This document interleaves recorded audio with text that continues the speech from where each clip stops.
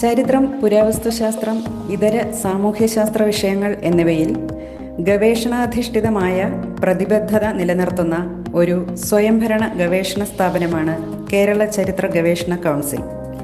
വിദ്യാഭ്യാസ വകുപ്പിന്റെ സമ്പൂർണ ധനസഹായത്തോടുകൂടി പ്രവർത്തിക്കുന്ന സ്ഥാപനമാണ് കെ സി എച്ച് ആർ. സ്ഥാപനത്തിന്റെ പ്രധാന ഓഫീസും റിസർച്ച് ലൈബ്രറിയും തിരുവനന്തപുരത്തുള്ള വൈലോപ്പള്ളി സംസ്കൃതി ഭവനിൽ സ്ഥിതി ചെയ്യുന്നു.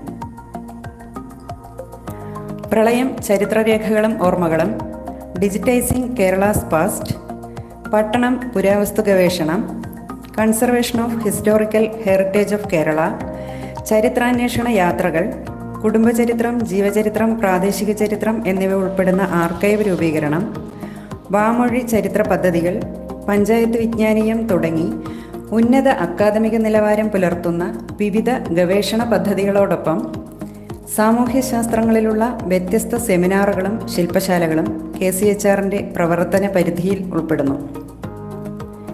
കെ സി എച്ച് ആറിന്റെ ഏറ്റവും പുതിയ സംരംഭമാണ് കേരള സമൂഹത്തിന്റെ പരിണാമം എന്ന വിഷയത്തെ അടിസ്ഥാനമാക്കിയുള്ള പ്രഭാഷണ പരമ്പര. സെക്കൻഡറി തലം മുതൽ ബിരുദാനന്തര തലം വരെയുള്ള വിദ്യാർത്ഥികളെ മുന്നിൽ കണ്ടുകൊണ്ട് ഓൺലൈൻ വിദ്യാഭ്യാസ പ്രക്രിയയിൽ കേരള ചരിത്ര സംബന്ധിയായ സമഗ്രവും വിമർശനാത്മകവുമായ അറിവ് വിദ്യാർത്ഥികളിൽ എത്തിക്കാൻ ഉതകുന്നതായിരിക്കും ഈ പ്രഭാഷണ പരമ്പര. കേരള ചരിത്ര രചനയിൽ സ്വന്തം ഇടപെടലുകൾ കൊണ്ട് വ്യക്തിമുദ്ര പതിപ്പിച്ച പണ്ഡിതരാണ് പ്രഭാഷണങ്ങൾ നടത്തുന്നത്. വർത്തമാനകാലം ഭൂതകാലവുമായി സംവദിക്കുമ്പോഴാണ് ചരിത്രരചന സംഭവിക്കുന്നത്. ഗണിതവും ശാസ്ത്രവും ഭാഷയും പഠിക്കാൻ എന്ന പോലെ ചരിത്ര പഠനത്തിനും രചനയ്ക്കും ഒരു രീതിശാസ്ത്രമുണ്ട്. ഭൂതകാലം ഇട്ടേച്ചു പോയ തെളിവ് സാമഗ്രികളെ വ്യാഖ്യാനിക്കുമ്പോൾ ഭിന്ന അഭിപ്രായങ്ങളുണ്ടാവും. അവ ചരിത്ര ഗവേഷണ കൗൺസിലിന്റെ ഔദ്യോഗിക അഭിപ്രായങ്ങളല്ല. അവ തികച്ചും പ്രഭാഷകന്റേത് മാത്രമാണ്. സംവാദങ്ങളിലൂടെ സമന്വയത്തിലെത്തുക എന്നതാണ് കൗൺസിലിന്റെ നയം.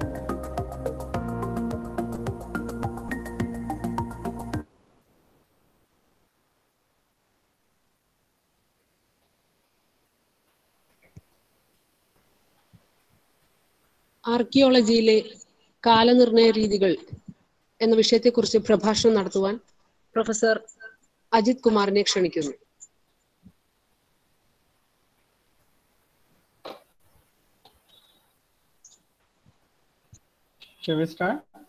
തുടങ്ങട്ടോ.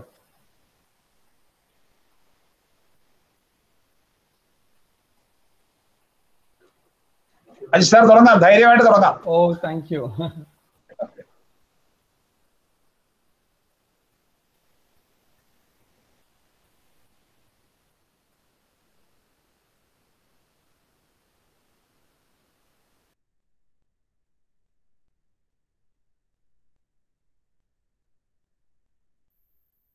Karthikeyan sir, whole team of KCHR, thank you for again inviting me to uh, yet another talk series. And today's talk is on popular dating methods in archaeology. Am I audible? K caller? Hello? Hello? Oh sir കേൾക്കുന്നുണ്ട് കേൾക്കുന്നുണ്ട് okay fine ആ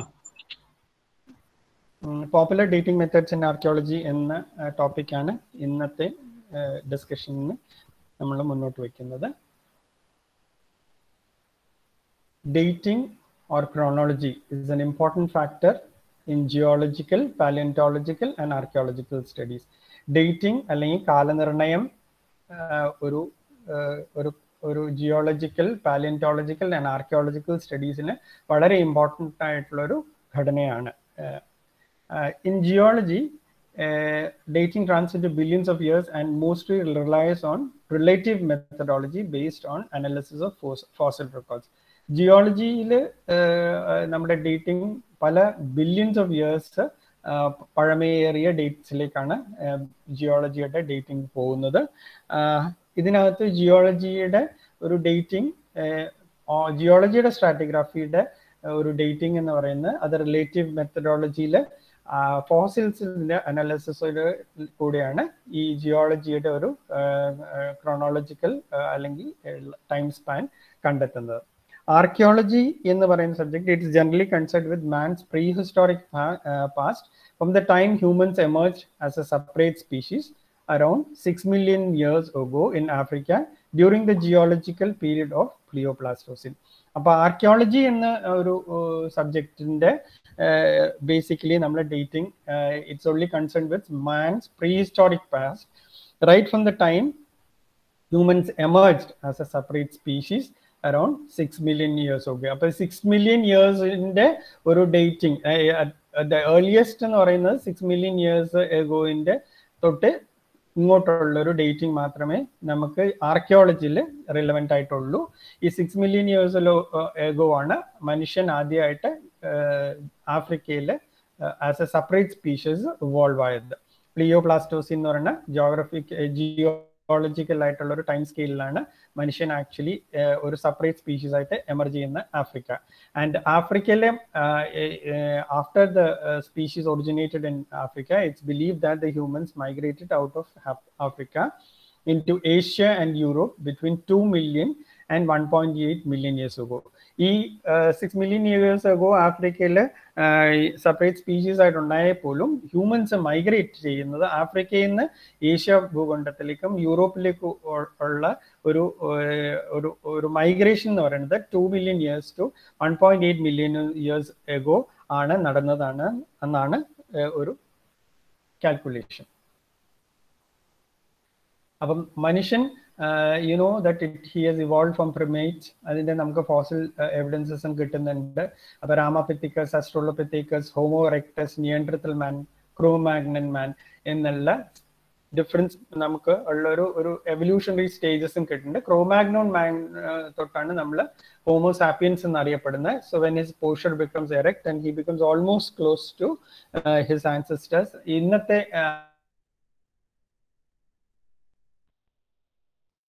മാഗ്നൻ മാനിന്റെ and he was also a hunter gatherer എന്നുള്ളതാണ് നമ്മളിപ്പം കണ്ടെത്തിയിരിക്കുന്ന evidences അപ്പം geological time സ്പാനിനെ കാട്ടി കുറവുള്ള ഒരു ടൈം സ്പാൻ മാത്രമേ ഉള്ളൂ.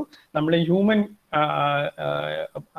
ഹ്യൂമൻസിനുള്ളൂ അപ്പൊ ആ ഒരു ഹ്യൂമൻസിന്റെ എവല്യൂഷൻ അല്ലെങ്കിൽ ഹ്യൂമൻസിന്റെ ഒരു ടൈം പീരീഡ് നമ്മൾ മൊത്തത്തിലുള്ള ഒരു ജിയോളജിക്കൽ സ്കെയിലോ അല്ലെങ്കിൽ എർത്തിന്റെ ഒരു ഡേറ്റോ ആയിട്ട് നമ്മൾ അല്ലെങ്കിൽ എർത്തിന്റെ പീരീഡ് ഓഫ് ടൈമും ആയിട്ട് നമ്മൾ ഒന്ന് ഒരു ഒരു ട്വന്റി ഫോർ അവേഴ്സ് ക്ലോക്ക് നമ്മൾ പിടിക്കുകയാണെങ്കിൽ ഒരു ഒരു നയൻ പി എം എന്നുള്ളൊരു ഒരു കാലഘട്ടം. അതായത് ഒരു four four thousand seven hundred million years ആണ് എർത്തിന്റെ മൊത്തത്തിലുള്ള ഹിസ്റ്ററി അപ്പൊ അതിനെ നമ്മൾ ട്വന്റി ഫോർ അവേഴ്സ് ആയിട്ട് തിരിക്കുകയാണെങ്കിൽ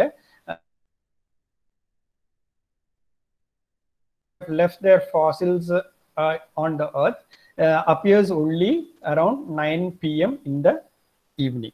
And the age of reptiles എന്ന് പറയുന്നത് നമുക്കൊക്കെ എന്നൊക്കെ പറയുന്ന ഒരു കാലഘട്ടം എന്ന് പറയുന്നത് ഒരു ലെവൻ പി എം എന്നുള്ള ഒരു ടൈമിന് മാത്രമേ ഇവോൾവ് ആകുന്നുള്ളൂ ആൻഡ് മാമൽസ് എന്ന് പറഞ്ഞ ബ്രോഡ് ആയിട്ടുള്ള species which includes even man they appear around eleven thirty eleven thirty എന്നുള്ളൊരു ടൈം സ്കെയിലാണ് മാമൽസ് ഇവോൾവ് ചെയ്യുന്നത്. And the man or human species arrive only at the very last minute just before midnight അപ്പം നമുക്കറിയാം നമ്മുടെ എർത്തിന്റെ four thousand seven hundred million ഇയേഴ്സിനകത്ത് വളരെ വളരെ വളരെ ഒരു കുറച്ച് ഭാഗം മാത്രമേ ഉള്ളൂ ഹ്യൂമൻസുമായിട്ടുള്ള റിലേറ്റഡ് ആയിട്ടുള്ള ഇഷ്യൂസ് വരുന്നുള്ളൂ. That is twenty four hours ക്ലോക്കിൽ ഒരു last minute just before it strikes it's twenty four is the humans evolve as a separate species on the surface of the earth അപ്പൊ മനുഷ്യന് മനുഷ്യന്റെ ഒരു ഒരു ഒരു കാലഘട്ടം എന്ന് പറയുന്നത് വളരെ വളരെ ചെറിയ ഒരു കാലഘട്ടം മാത്രമേ ഉള്ളൂ. എർത്തിന്റെ ടോട്ടൽ ഹിസ്റ്ററി എടുത്ത് നോക്കുവാണെങ്കിൽ നമുക്ക് മനസ്സിലാക്കാൻ പറ്റുന്നത്. നമ്മൾ ഇന്നത്തെ കാലത്ത് മോഡേൺ ഡേറ്റിംഗ് നമ്മൾ ഈ ഒരു ചെറിയ മിനിസ്കൂൾ ആയിട്ടുള്ള എർത്തിന്റെ പീരീഡിലാണ് നമ്മൾ ജീവിക്കുമെങ്കിൽ പോലും ഇന്ന് നമ്മൾ we go our dating by seconds minutes hours apart from days weeks months years mentioned in calendar that is ഇന്നത്തെ കാലഘട്ടത്തിൽ നമ്മൾ നോക്കുകയാണെങ്കിൽ ഈ ഒരു ചെറിയ പീരീഡിനെ പോലും നമ്മൾ സെക്കൻഡ്സ് ഇപ്പൊ സെക്കൻഡ്സ് മാത്രമല്ല സെക്കൻഡ്സിനകത്തും പിന്നെയും ഡിവിഷൻസ് വരുന്ന രീതിയിലുള്ള മൈക്രോ സെക്കൻഡ്സ് വരെയും വരുന്നുള്ള രീതിയിലാണ് അക്യുറസിയിലാണ് പല സാധനങ്ങളും നമ്മൾ ചെയ്തുകൊണ്ടിരിക്കുന്നത്. സോ അപ്പം സെക്കൻഡ്സ് മിനിറ്റ്സ് അവേഴ്സ് പിന്നെ ഫെർദർ ആയിട്ട് into days weeks months and years mentioned in calendars is what we follow for modern dating. And there are various types of calendars too from historical period like Egyptian calendar, Babylonian calendar, Chinese calendar, Indian calendar, Mesoamerican calendar, etc. In Kerala, the currently vogue eras or calendaric dates followed include Vikram era, Shaka era, Hijra era, Kollam era, etc. Apart from all these, the most popular and internationally followed uh, is the Gregorian current അപ്പം കേരളത്തിൽ തന്നെ ഇന്ന് നമ്മൾ ഒരു സാധാരണ ഒരു calendar എടുത്ത് നോക്കുകയാണെങ്കിൽ അതിനകത്ത് വിക്രം ഇറ രേഖപ്പെടുത്തിയിട്ടുണ്ടാവും ഒരു സൈഡിൽ ശക ഇറ രേഖപ്പെടുത്തിയിട്ടുണ്ടാവും ഹിജുരി ഇറ രേഖപ്പെടുത്തിയിട്ടുണ്ടാവും. ആൻഡ് ജനറലി മലയാളം കലണ്ടറുകൾ മുഴുവൻ കൊല്ലം ഇറയിലായിരിക്കും രേഖപ്പെടുത്തുന്നത്. ഇംഗ്ലീഷ് കലണ്ടർ കേരളത്തിൽ പ്രിന്റ് ചെയ്യുന്നതാണെങ്കിൽ കൊല്ലം ഇറയിലുള്ള ഡേറ്റ്സും അതിനകത്ത് താഴെ കൊടുക്കാറുണ്ട്. ഗ്രിഗേറിയൻ കലണ്ടർ ആണെങ്കിൽ പോലും കൊല്ലം ഇറയും അതിനകത്ത് രേഖപ്പെടുത്താറുണ്ട്. ആൻഡ് മൊത്തത്തിൽ if you have to derive a date for chronology of prehistoric period നമ്മൾ ഇതൊക്കെ ഹിസ്റ്റോറിക്കൽ പീരിയഡിൽ വരുന്ന സംഭവമാണ്. പക്ഷെ നമ്മൾ ഈ നേരത്തെ പറഞ്ഞ ഒരു ഒരു ഒരു ഒരു പ്രീ ഹിസ്റ്റോറിക് പീരിയഡിനെ കുറിച്ച് നമുക്ക് ഡേറ്റ്സ് gather ചെയ്യണമെങ്കിൽ there are two generally broad methods that is used which is known as relative dating method and absolute uh, dating method. What is relative dating method അപ്പൊ റിലേറ്റീവ് എന്ന് പറയുമ്പോൾ തന്നെ അതിന്റെ വേർഡിൽ തന്നെ അതിന്റെ മീനിങ് ഉണ്ട്. ദാറ്റ് ഇസ് ഒരു ഒരു താരതമ്യപ്പെടുത്തിക്കൊണ്ട് ആയിരിക്കും നമ്മൾ ഈ ഒരു റിലേറ്റീവ് എന്ന് പറയുന്ന ഒരു സംഭവത്തിന്റെ ഒരു ഡേറ്റ് നമ്മൾ കിട്ടാൻ ശ്രമിക്കുന്നത്. അപ്പൊ ഈ എങ്ങനെയാണ് ഇത് താരതമ്യപ്പെടുത്തിക്കൊണ്ട് അല്ലെങ്കിൽ ഒരു കമ്പാരിറ്റീവ് ബേസിൽ ഒരു റിലേറ്റീവ് ആയിട്ട് ഒരു സംഭവത്തിന്റെ ഡേറ്റ് എങ്ങനെയാണ് നമ്മൾ ആർക്കിയോളജിയിൽ യൂസ് ചെയ്യുന്നത് എന്നുള്ളത് ബേസിക്കലി ഈ ഒരു റിലേറ്റീവ് ഡേറ്റിംഗ് എന്ന് പറയുന്ന ഒരു തത്വം അല്ലെങ്കിൽ അതിന്റെ ഒരു പ്രിൻസിപ്പിൾ എന്ന് പറഞ്ഞാൽ it it is basically derive from geology and ഈ അതിനകത്ത് ജിയോളജിയിൽ ഓരോ ലെയറിനെയും സ്ട്രാറ്റ എന്നാണ് പറയുന്നത്. ആ സ്ട്രാറ്റകൾ പല ലെയേഴ്സ് ആയിട്ടാണ് മൊത്തത്തിലുള്ള എർത്തിന്റെ ക്രസ്റ്റ് തൊട്ട് നമ്മൾ ഇന്ന് പുറമേ ഇരിക്കുന്ന സോയിൽ വരെയും ഉള്ള സംഭവം പല ലെയേഴ്സ് ആയിട്ടാണ് അടുക്കി അടുക്കി ഉള്ള രീതിയിലാണ് പല ലെയേഴ്സ് ആയിട്ടാണ് ഇത് നമ്മൾ എർത്തിന്റെ ക്രസ്റ്റ് ഇരിക്കുന്നത്. അപ്പൊ അതിനകത്ത്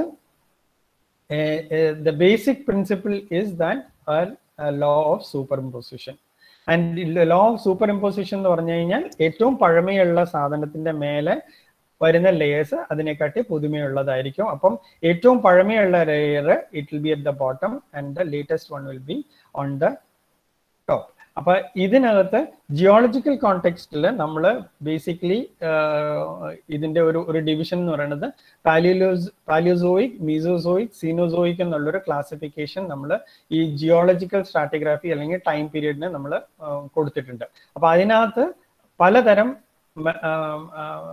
ഫോസിൽസ് കിട്ടിയിരിക്കുന്ന പല ലെയേഴ്സിൽ നിന്നും കിട്ടിയിരിക്കുന്ന ഫോസിൽസ് ആണ് ഇതിനകത്തൊരു ടെന്റേറ്റീവ് ആയിട്ടുള്ള ഡേറ്റിങ് നമുക്ക് മില്യൺസ് ഓഫ് ഇയേഴ്സ് പഴമയുള്ള ഡേറ്റ്സ് നമുക്കൊരു ടെന്റേറ്റീവ് ആയിട്ടുള്ള രീതിയിൽ നമ്മൾ കാൽക്കുലേറ്റ് ചെയ്ത് വെച്ചിരിക്കുന്നത് അപ്പോൾ ഇതിനകത്ത് if you say that man evolved between or uh, Jurassic Park is between uh, 199.6 and uh, 145.5 million years എന്ന് പറഞ്ഞു കഴിഞ്ഞാൽ because it's it's a huge span of time അതിനകത്ത് മനുഷ്യൻ ഇല്ലാത്തത് കൊണ്ട് തന്നെ you you cannot place much emphasise on the smaller denominations of of this particular period അപ്പം വളരെ ഒരു ലാർജ് ആയിട്ടുള്ള ടൈം സ്കെയിലാണ് നമ്മൾ ജിയോളജിക്കലായിട്ടുള്ള സ്ട്രാറ്റിഗ്രാഫിക്ക് പലപ്പോഴും അസൈൻ ചെയ്യുന്നത് and these dates are assign on the basis of classification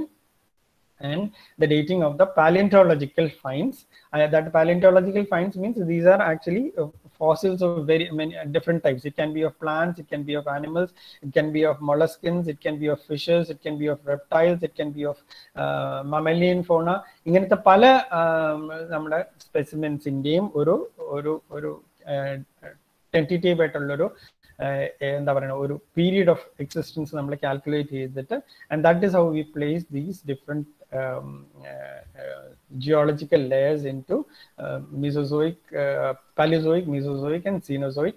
And in, in the as far as humans are concerned, it's only the Pliocene, Pleistocene boundary and the current period, which is now known as the Holocene, which begins around 12,000 years ago or so. These are only the two important particular period as far as humans are concerned. Pleoplastocene boundary where humans, the human form comes into existence and Holocene, which is almost the latest period. The rest are not really connected with the human history or human mm, antiquity as, uh, as such. അപ്പൊ basically നമ്മൾ ഈ സ്ട്രാറ്റഗ്രാഫി എന്നുള്ള principle ഈ different സ്ട്രാറ്റയുടെ ഒരു സംഭവം അതിന്റെ ഒരു date achieve ചെയ്യാനുള്ള ഒരു ശ്രമം by studying different fossils is a principle from geology and when it comes to archaeology we basically follow the same principle of law of law of superimposition geology എന്ന് വരുന്ന law of super imposition തന്നെയാണ് നമ്മൾ ആർക്കിയോളജിയിലും follow ചെയ്യുന്നത് പക്ഷേ എങ്കിൽ ഇവിടെ നമ്മൾ fossils ഉപയോഗിച്ചിട്ടാണ് ഇത് ഇതിന്റെ ഒരു ഡേറ്റ് നിർണയിക്കണമെങ്കിൽ അല്ലെങ്കിൽ റിലേറ്റീവ് ആയിട്ടുള്ള ഒരു ഡേറ്റിംഗ് നമ്മൾ നിർണയിക്കണമെങ്കിൽ ആർക്കിയോളജിയിൽ നമുക്ക് ഈ ലേയേഴ്സിൽ നിന്ന് കിട്ടുന്ന കൾച്ചറൽ ആർട്ടിഫാക്ട്സ് ആയിരിക്കും നമുക്ക് നമ്മൾ അതിന് ഡേറ്റിംഗിന് ഉപയോഗിക്കുക. അപ്പൊ കൾച്ചറൽ ആർട്ടിഫാക്ട്സ് രണ്ട് തരത്തിലുണ്ടാവാം. Some can be also dated or some can not be dated as such അപ്പൊ ഈ കൾച്ചറൽ ആർട്ടിഫാക്ട്സിന്റെ ബേസിസിലായിരിക്കും നമ്മൾ ഈ ഡിഫറെന്റ് ലെയേഴ്സിനെ വേർതിരിച്ച് അതിനൊരു റിലേറ്റീവ് ആയിട്ടുള്ള ഡേറ്റിംഗ് നമ്മൾ ആർക്കിയോളജിയിൽ കൊണ്ടുവരുന്നത്. അപ്പൊ ഇത് പറഞ്ഞ പോലെ തന്നെയാണ് ഈ നമ്മൾ ഒരു ട്രെഞ്ച് ഓർ ആർക്കിയോളജിക്കൽ എക്സ്കവേഷൻസ് എടുക്കുമ്പോൾ നമ്മൾ ഒരു ട്രെഞ്ച് ഇട്ട് കഴിഞ്ഞാൽ അത് കുഴിച്ചു പോകുമ്പോൾ the first layer on the top where the grass and other things grow that is the layer of the humus അത് ഇത് ഓൾമോസ്റ്റ് റീസെന്റ് ആണ്. അതിനുശേഷം വരുന്ന ലെയേഴ്സ് ആണ് നമ്മൾ ഈ ഈച്ച് ലെയർ ഇത് അത് കളർ വൈസ് ആയിരിക്കാം അല്ലെങ്കിൽ മെറ്റീരിയൽ വൈസ് ആയിരിക്കാം. അപ്പോൾ ഒരു ഒരു ലെയർ അല്ലെങ്കിൽ ഒരു സ്ട്രാറ്റത്തിനെ ഡിവൈഡ് ചെയ്യുന്ന ഘടന എന്ന് പറയുന്നത് അതിനകത്ത് അടങ്ങിയിരിക്കുന്ന മെറ്റീരിയലും അതിന്റെ ടെക്സ്ചറും soil കണ്ടന്റ്സിന്റെ colour that is both material as well as the texture of the soil that each layer is composed of makes it different from the other layer ഇപ്പൊ ഇതിനകത്ത് കളർ മാത്രമല്ല ഹ്യൂമസ് ഇവിടെയാണ് ഏറ്റവും കൂടുതൽ ഇപ്പം നമുക്ക് ഡിറ്റോറേഷൻസ് നടക്കുന്നത് ഡി കെ നടക്കുന്നത് എർത്ത്വോം ആക്ടിവിറ്റീസ് ഉണ്ടാവുന്നത്. അപ്പൊ ഈ ഒരു സോയിലിന്റെ കളർ അതുകൊണ്ടാണ് ബേസിക്കലി ഈ ഡാർക്ക് കളറായിട്ട് കാണുന്നത് then you notice that the color of the soil in this layer is different and then the subsequent layer is different so geologically you have different layers which compose uh, the uh, this uh, which goes in composition of the strata and when it comes to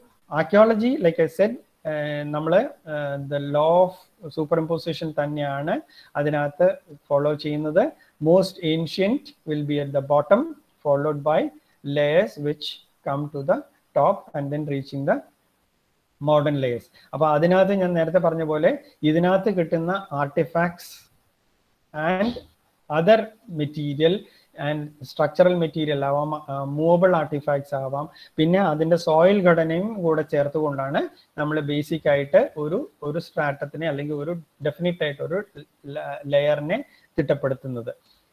and ഇത് basically നമ്മളിപ്പം ഈ ഒരു principle law ഈ stratigraphy എന്ന് പറയുന്ന ഒരു സംഭവം. It's like arranging a paper of a month ഇപ്പൊ ഒന്നാം തീയതി തൊട്ടുള്ള പേപ്പർ അറേഞ്ച് ചെയ്ത് വെക്കുകയാണെങ്കിൽ ഒന്നാം തീയതി പേപ്പർ ഏറ്റവും താഴെയും ഒരു ഫിഫ്റ്റീൻത്തിന് വന്ന പേപ്പർ നടുക്കിലും തേർട്ടിയത്തിന് വരുന്നത് ഏറ്റവും മേലെയും ആയിരിക്കും. അതുകൊണ്ട് it's this is the law of superimposition that is the oldest will go to the bottom and the latest will be toward the top so അപ്പൊ നമ്മൾ എക്സ്കവേറ്റ് ചെയ്ത് പോകുമ്പോൾ എപ്പോഴും ടോപ്പിൽ നിന്ന് താഴോട്ടാണ് പോകുന്നത്. That is is that this process is in reverse of the accumulation process accumulation process എന്ന് പറഞ്ഞാൽ താഴത്തുനിന്നാണ് അക്യുമുലേറ്റ് ചെയ്യുന്നത്. അതിന്റെ മേലെ ഒരു ലെയർ അക്യുമുലേറ്റ് ആയി അതിന്റെ മേലെ ഒരു ലെയർ ആയി.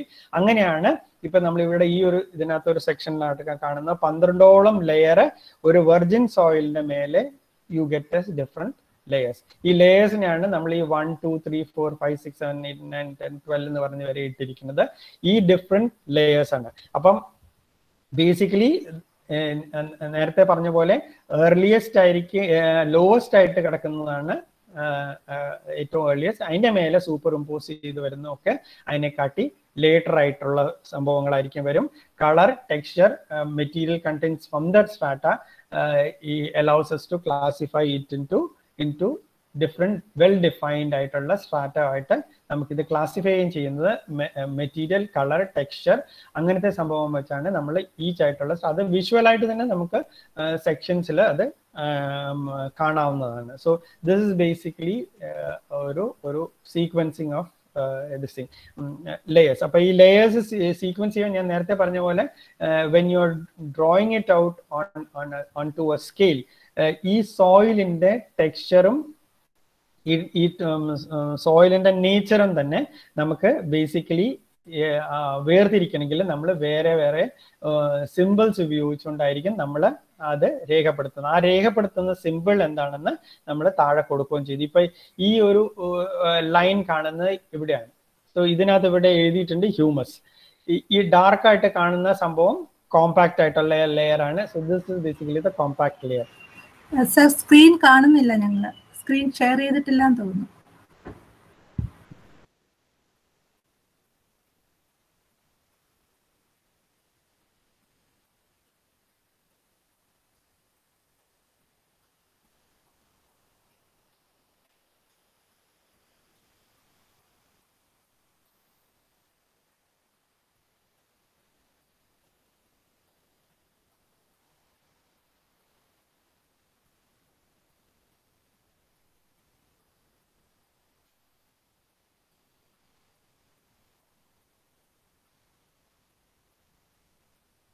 കാണുന്നുണ്ടോ?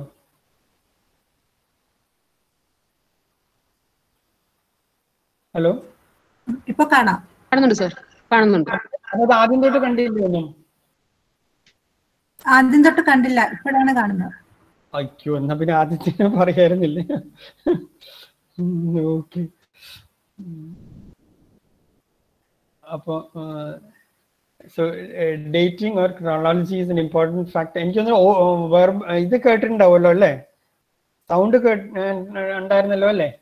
സൗണ്ട് ഉണ്ടായിരുന്നു സർ ഓക്കെ ആ ഓക്കെ അപ്പൊ അത് ഇതൊന്നും കൂടെ പറഞ്ഞ dating or chronology is an important factor in geology palaeontological and archaeological studies In geology, dating runs into billions of years and mostly relies on relative methodology based on the analysis of fossil record അപ്പൊ നേരത്തെ പറഞ്ഞത് തന്നെയാണ് ഞാൻ പറയുന്നത്.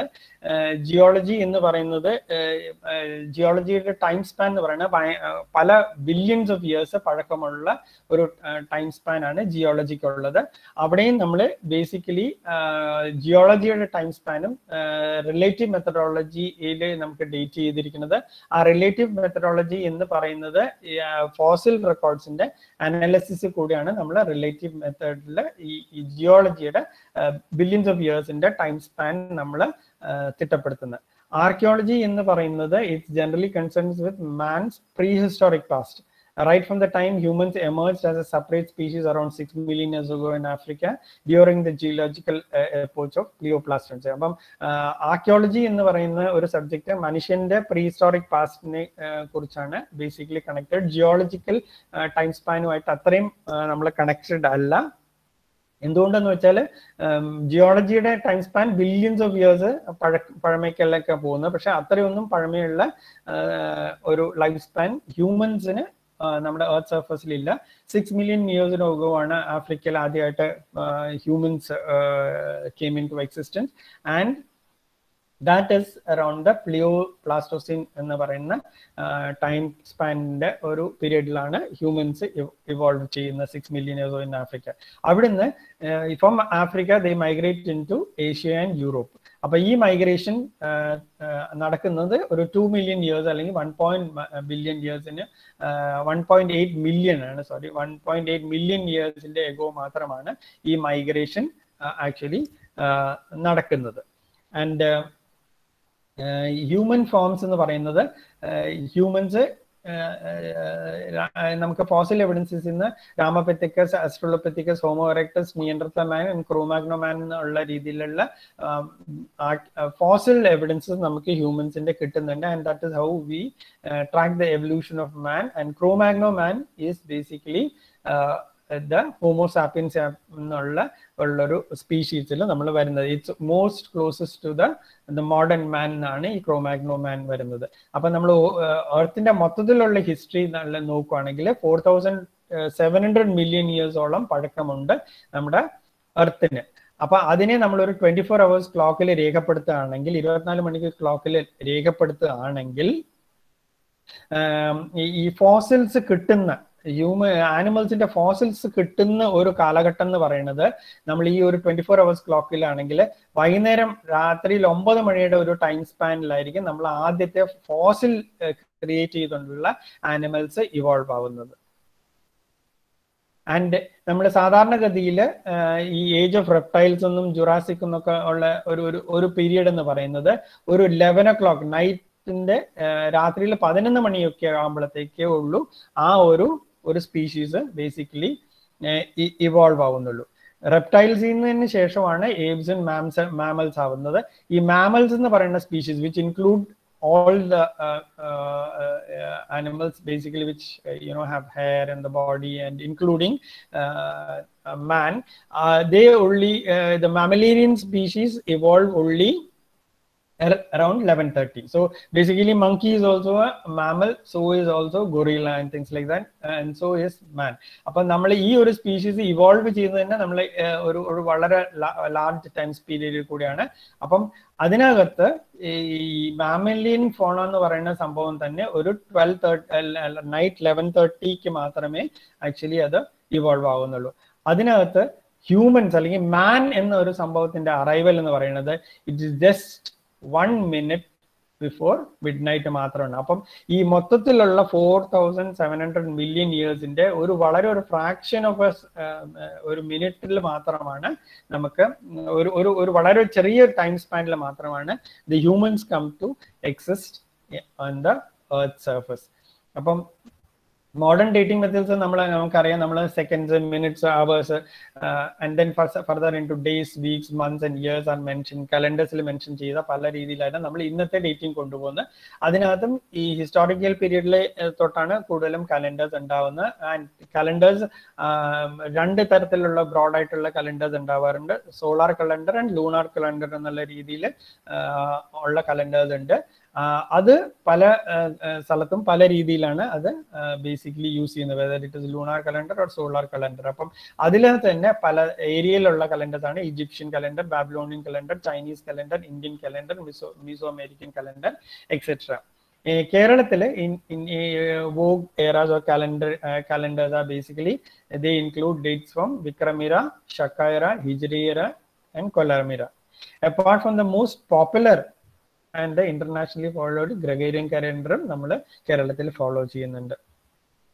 So to derive dates of prehistoric period നമ്മൾ ഈ pre historic പീരീഡിലെ dates നമുക്ക് ഹ്യൂമൻ പ്രസൻസിന്റെ ഉള്ള ഒരു ഡേറ്റ് നമുക്ക് ഡിറൈവ് ചെയ്യണമെങ്കിൽ രണ്ട് മെത്തേഡാണ് ബേസിക്കലി യൂസ് ചെയ്യുന്നത്. ഒന്ന് relative dating and second is absolute dating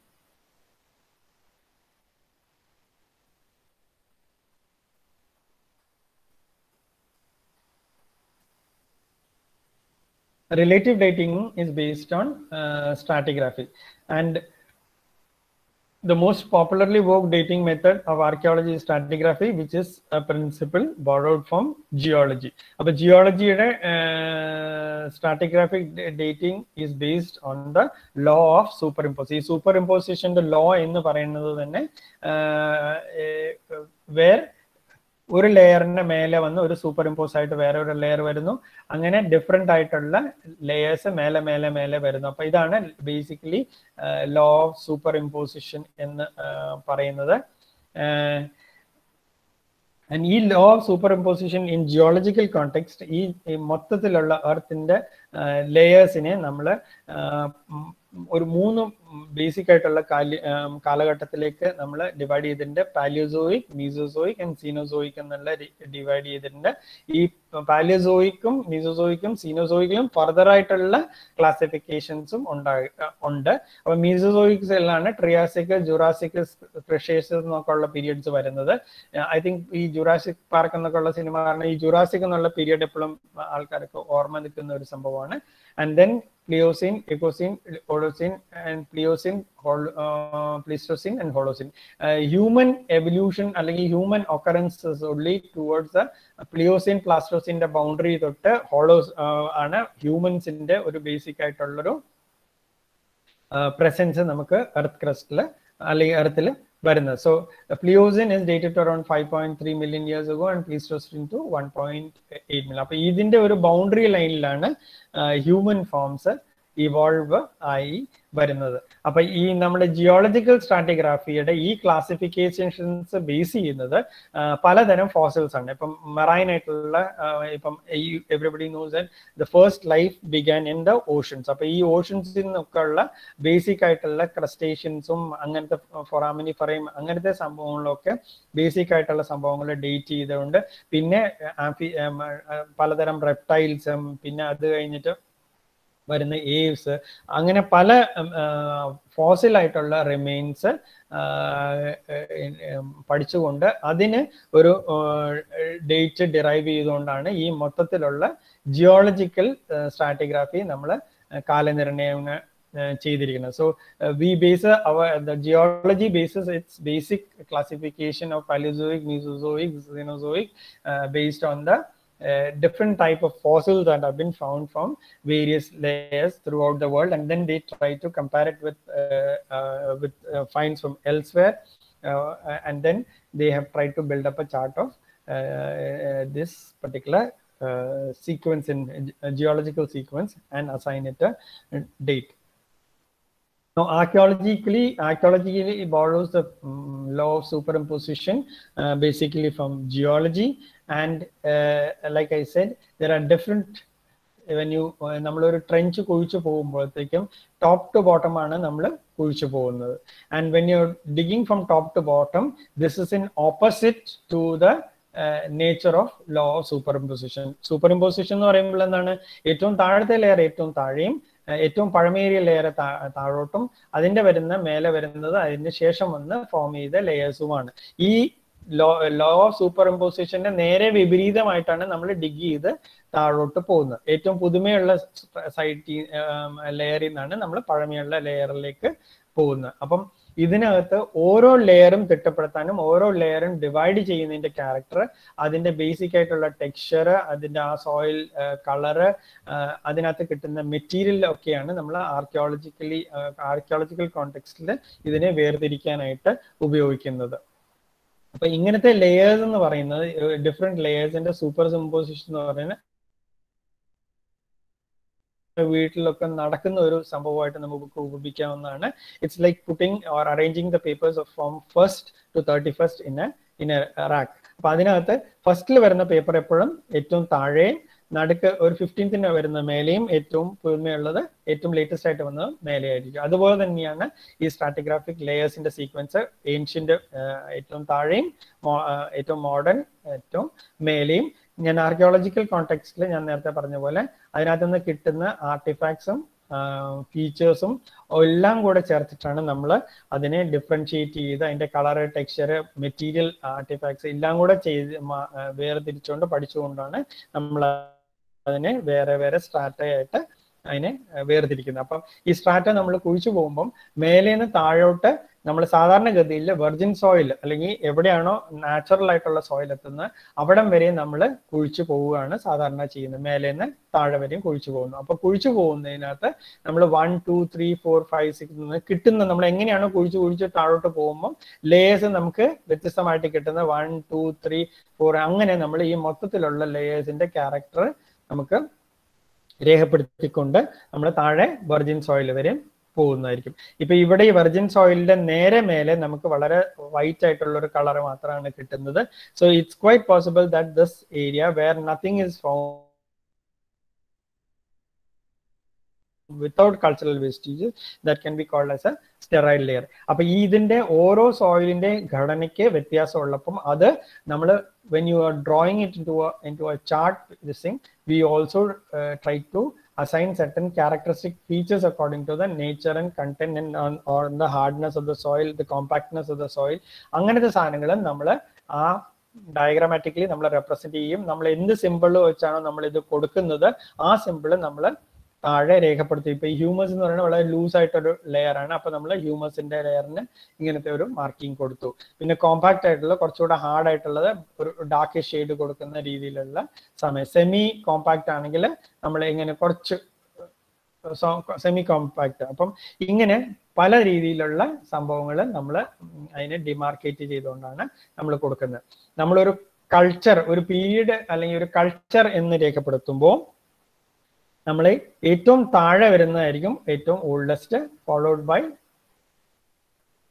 by the next culture as we go on the top so ലേയേഴ്സിൽ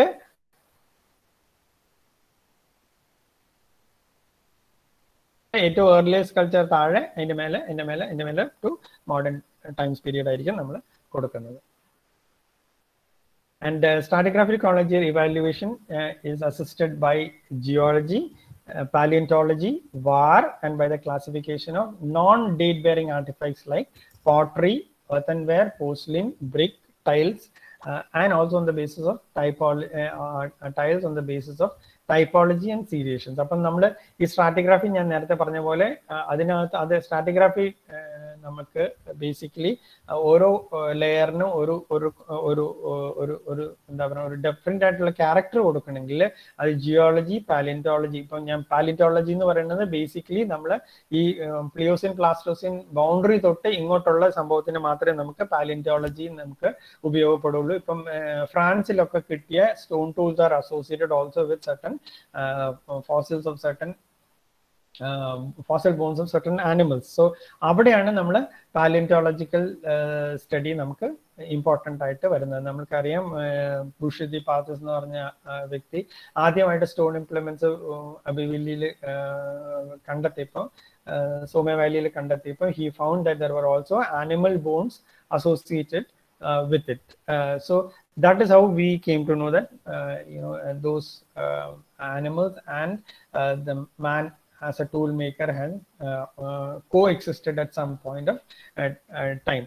Now then നമുക്ക് ആർക്കിയോളജിക്കൽ ഹിസ്റ്റോറിക്കൽ പീരിയഡ് അല്ലെങ്കിൽ നമുക്ക് ബേസിക്കലി നിയോളത്തിക് പീരിയഡ് തൊട്ട് ഇങ്ങോട്ട് നമുക്കറിയാം Neolithic period is also in a way revolutionary because man started also making storage vessels especially pottery sometimes mud uh, mud uh, unbaked uh, variety and also sometimes baked variety of earthenware. അപ്പം earthenware porcelains. Porcelain is actually a very highly fired side of pottery.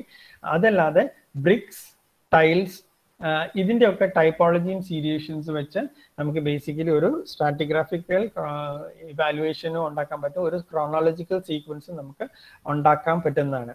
അപ്പൊ ഈ date bearing അല്ലാതെ sometimes if you are data, excavating a historical site there can be some material which are datable അപ്പം ചിലയിടത്ത് ഇപ്പൊ ഒരു ഒരു ഒരു ഒരു റിട്ടൺ ഇൻസ്ക്രിപ്ഷൻ ഒരു ഇൻസ്ക്രിപ്ഷൻ നമുക്ക് ഒരു പോർട്രേറ്റിന്റെ മേലെ കിട്ടി. ഇപ്പം കൊടുമണ പോലത്തെ സൈറ്റിലൊക്കെ അല്ലെങ്കിൽ പലയിടത്തുനിന്നും ഇപ്പം ഇപ്പം പോട്ടറിയിൽ തന്നെ ഇൻസ്ക്രിപ്ഷൻസ് കിട്ടുന്നുണ്ട്. ബ്രാഹ്മി സ്ക്രിപ്റ്റിലുള്ള ചില ഇൻസ്ക്രൈബ്ഡ് ആയിട്ടുള്ള പോർട്രേറ്റ്സ് കിട്ടുന്നു. അപ്പൊ ഇങ്ങനത്തെ ഇൻസ്ക്രൈബ്ഡ് ഉള്ള പോർട്രേറ്റ്സ് ഉണ്ടെങ്കിൽ അത് പാലിയോഗ്രാഫി അല്ലെങ്കിൽ ഒരു ഒരു സ്ക്രിപ്റ്റിന്റെ ഇപ്പം കൂടുതലും നമുക്ക് ഇവിടെ കിട്ടുന്ന ബ്രാഹ്മിയിലുള്ള പാലിയോഗ്രാഫി സൈൻ ചെയ്യുന്ന ആർട്ടിഫാക്ട്സ് ആണ് ഇത് കിട്ടുന്നത്. അപ്പൊ ഈ പാലിയോഗ്രാഫി ഈ സ്ക്രിപ്റ്റിന്റെ ഒരു ക്യാരക്ടർ വെച്ച് നമുക്ക് ബേസിക്കലി ആ ഒരു ലെയറിനെ നമുക്ക് ഡേറ്റ് ചെയ്യാൻ പറ്റുന്നതാണ്.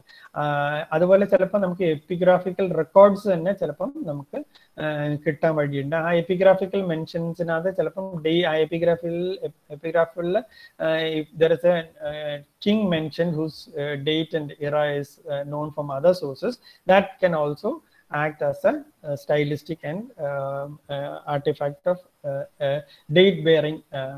artifact.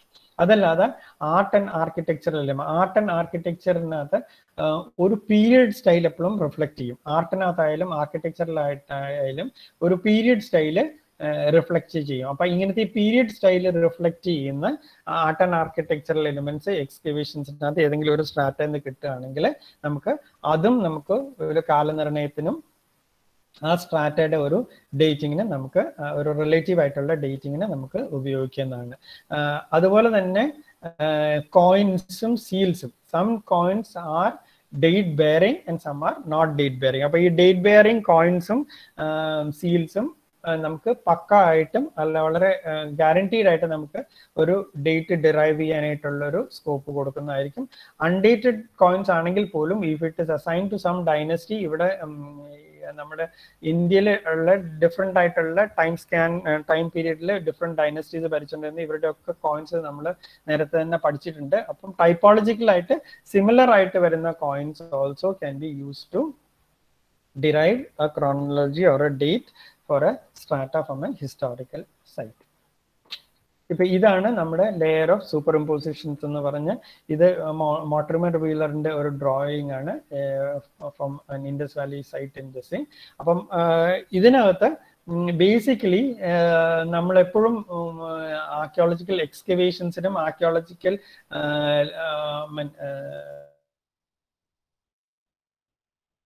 പ്രിഫർ ചെയ്യുന്നത് ഒരു ആർക്കിയോളജിക്കൽ മൗണ്ട് ഉണ്ടെങ്കിൽ ഏറ്റവും കൂടുതൽ ഡിപ്പോസിറ്റ് ഉള്ള സ്ഥലത്തു നിന്നായിരിക്കും ആദ്യത്തെ ട്രെഞ്ച് ഇട്ട് താഴോട്ട് പോകേണ്ടതെന്ന് നമ്മൾ പറയും. വേറെ ദ ഡിപ്പോസിറ്റ് മാക്സിമം അവിടെയാണ് നമ്മൾ ബേസിക് ആയിട്ട് ട്രെഞ്ച് ഇട്ടിട്ട് താഴോട്ട് കൊണ്ട് പോകേണ്ടതെന്ന് താഴോട്ട് പോകേണ്ടതെന്ന് നമ്മളെപ്പോഴും പറയും. എന്തുകൊണ്ടെന്ന് വെച്ചാൽ ഏറ്റവും ഡെബ് കൂടുതൽ ഡെബ്രിസ് അക്യൂമുലേറ്റഡ് ആയിട്ടുള്ള മൗണ്ടിന്റെ ഏറ്റവും ഉയരം കൂടിയ ഭാഗത്തായിരിക്കും ഏറ്റവും കൂടുതൽ നമ്പർ ഓഫ് ലെയേഴ്സ് റെപ്രസെന്റ് ചെയ്യുന്നത്.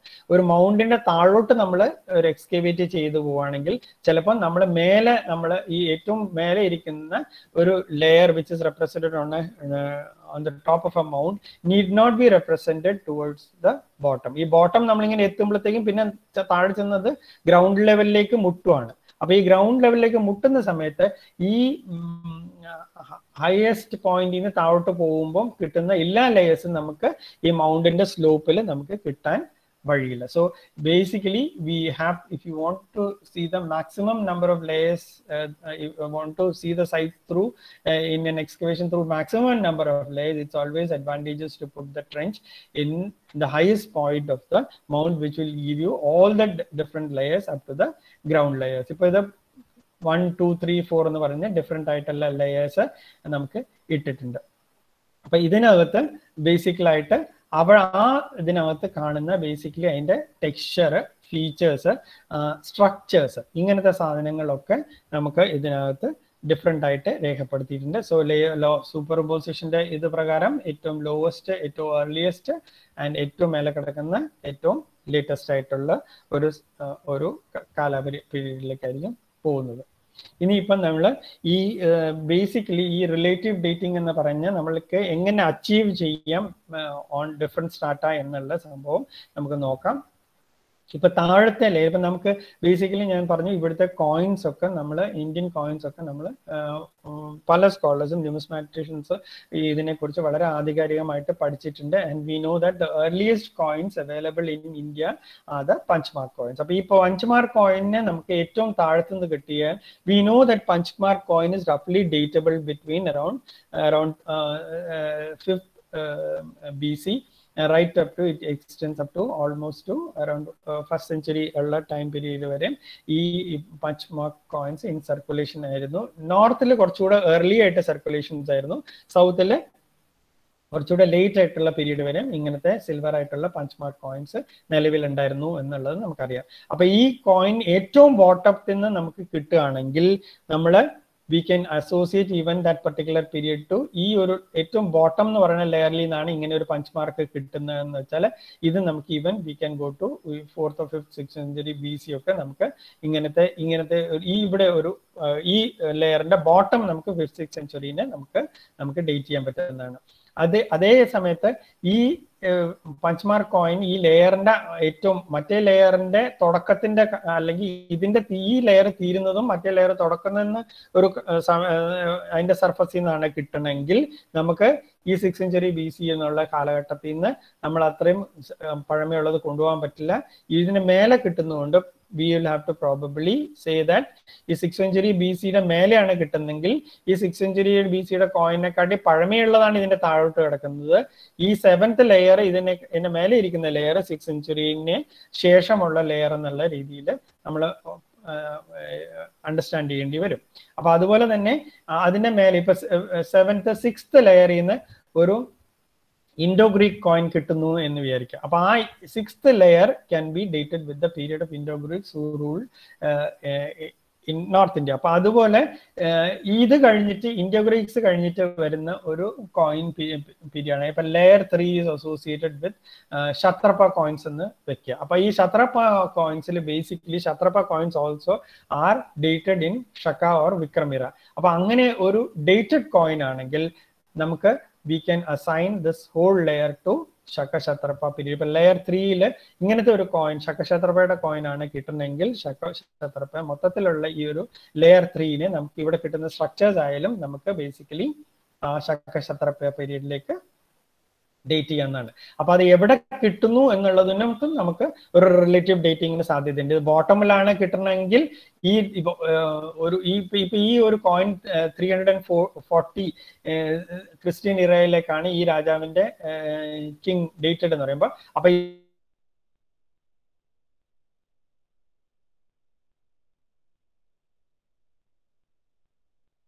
ിലേക്ക് പിടിക്കാം. അതിന്റെ നമ്മൾ യു കൻ ടെന്റേറ്റീവ്ലി പ്ലേസ് ഇത്തരം ഒരു ലെയറിന്റെ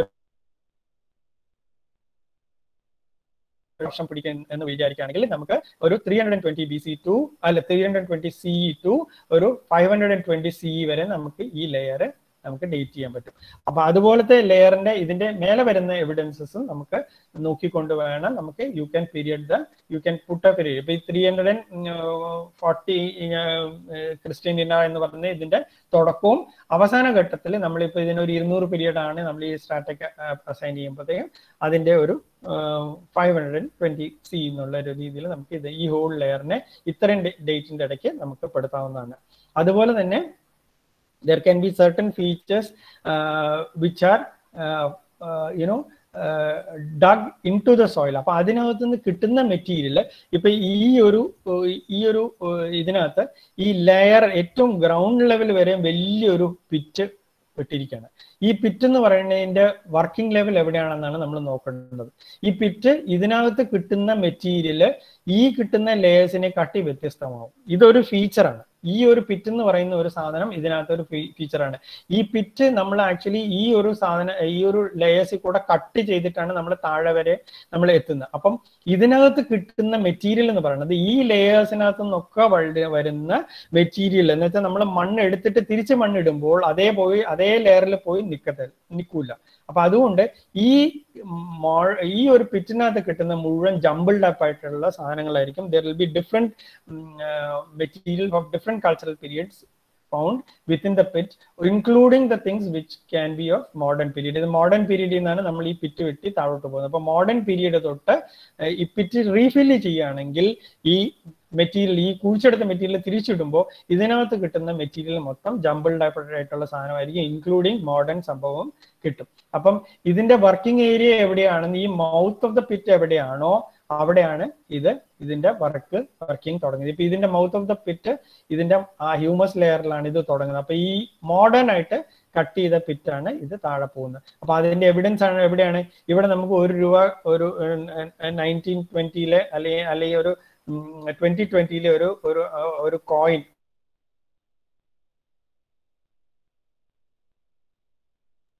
ഇത് മോഡേൺ ആയിട്ടുള്ള പിറ്റാണ് ബിക്കോസ് ആ പിറ്റിനകത്ത് ഏറ്റവും താഴെയാണ് നമുക്ക് ഒരു നയന്റീൻ ടെന്നിലെ കോയിനിലോ അല്ലെങ്കിൽ ട്വന്റി ട്വന്റിയിലെ കോയിൻ കിട്ടുന്നത്. അപ്പൊ ആ ട്വന്റി ട്വന്റി പീരീഡിലെ പീരീഡിലാണ് നമുക്ക് ഈ പിറ്റ് ബേസിക്കലി ഈ ഏറ്റവും താഴെ കിട്ടുന്നതുകൊണ്ട് ഇത് നമുക്ക് ഡിഗ് ചെയ്തു എന്നുള്ളത് can be establish from the material the pit as well as from the material contents ഇതുപോലെ അതുപോലെ തന്നെ sometimes you notice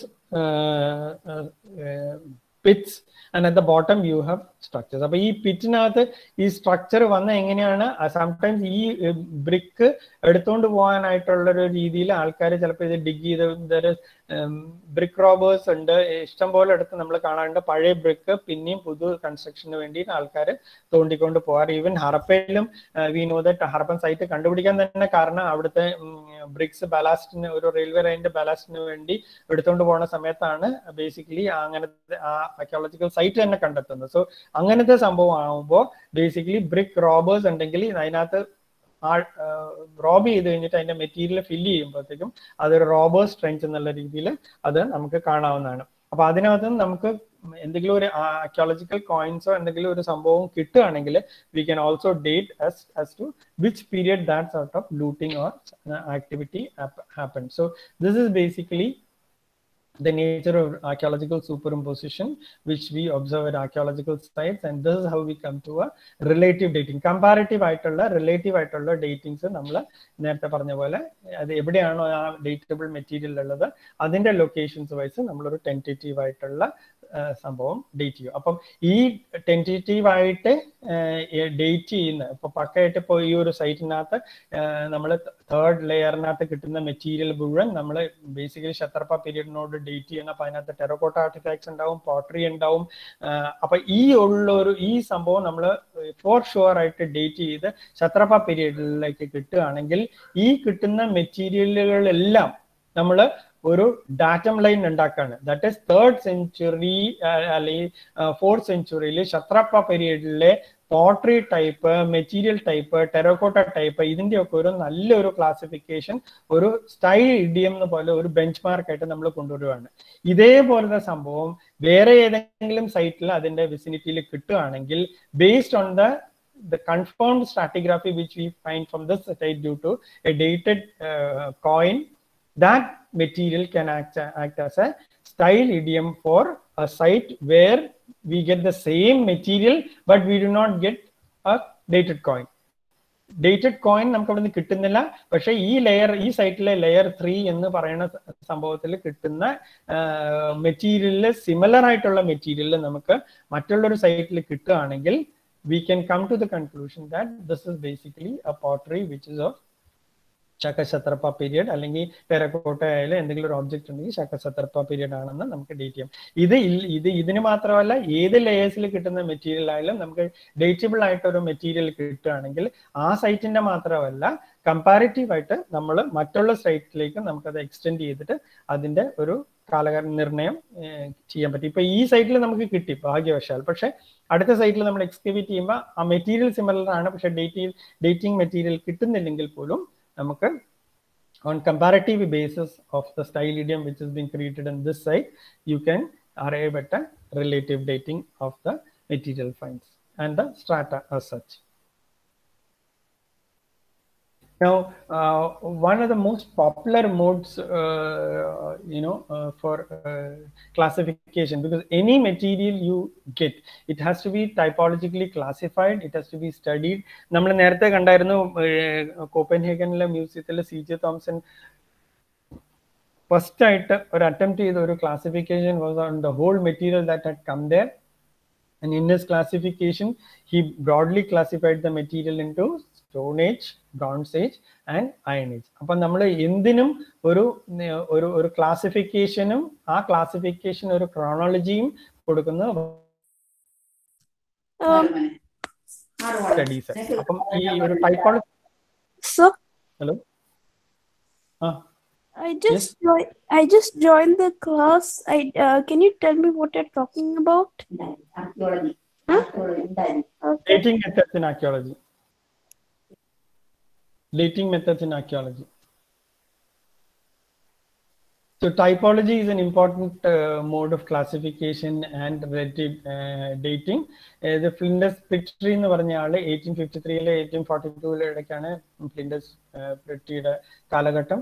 And he had conducted excavations in Egypt Israel and Palestine അപ്പോൾ അദ്ദേഹം അവ അദ്ദേഹത്തിന്റെ എക്സ്കവേറ്റഡ് സൈറ്റ്സിലുള്ള മെറ്റീരിയൽ റിമെയിൻസിന്റെ ഒരു ക്ലാസിഫിക്കേഷനും ഒരു ക്രോണോളജിക്കൽ ആയിട്ടുള്ള സീക്വൻസിങ് കൊണ്ടുവരാനുള്ള ഒരു ശ്രമം അദ്ദേഹം ത്രൂ പോട്ടറി ആൻഡ് ടൈപ്പോളജി ചെയ്തായിരുന്നു.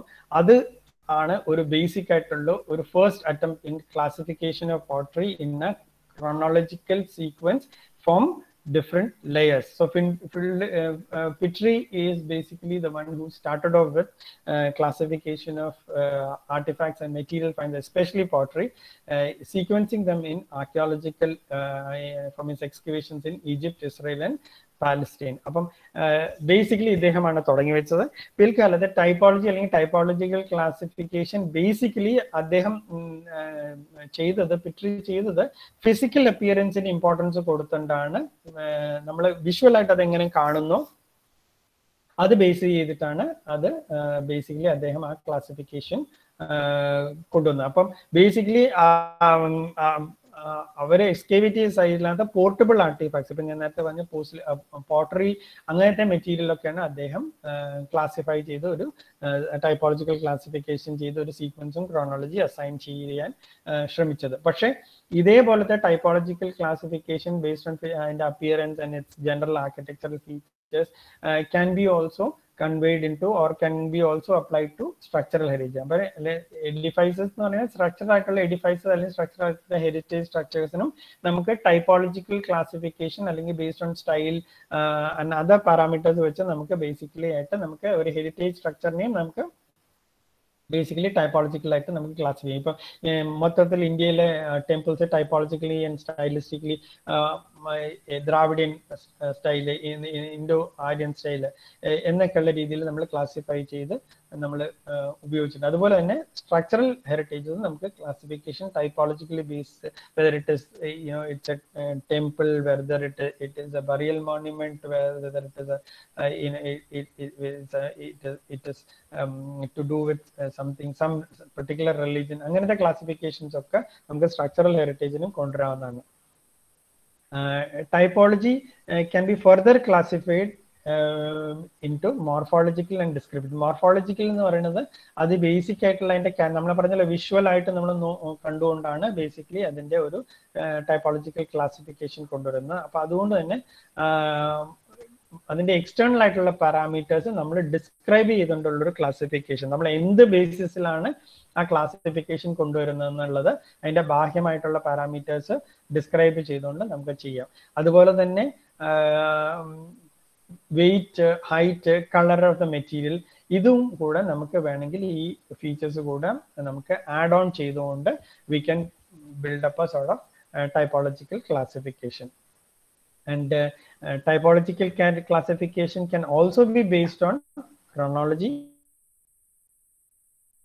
and style so ടൈപ്പോളജിക്കലുള്ള പാരാ നമ്മൾ വിഷ്വലായിട്ട് കാണുന്ന പല പാരാമീറ്റേഴ്സ് അല്ലാതെ നമ്മൾ അതിന്റെ ക്രോണോളജിക്കൽ ഏത് ലെയേഴ്സിൽ നിന്നാണോ കിട്ടുന്നത് അതിന്റെ ഒരു ക്രോണോളജി തിട്ടപ്പെടാൻ എത്താൻ പറ്റുമെങ്കിൽ ആ ക്രോണോളജി പിന്നെ ഈ ഫങ്ഷണൽ എലിമെന്റ് ഈ ആർട്ടിഫാക്റ്റിന്റെ ഫങ്ഷണൽ എലിമെന്റ് എന്താണ് അതിന്റെ സ്റ്റൈൽ എന്താണ് ഇത്യാദി കൂടെ നമ്മൾ പരിശോധിച്ചുകൊണ്ട് നമുക്ക് അതിന് ടൈപ്പോളജിക്കൽ ആയിട്ടുള്ള ക്ലാസിഫിക്കേഷൻസ് കൊണ്ടുവരാവുന്നത് ആണ്.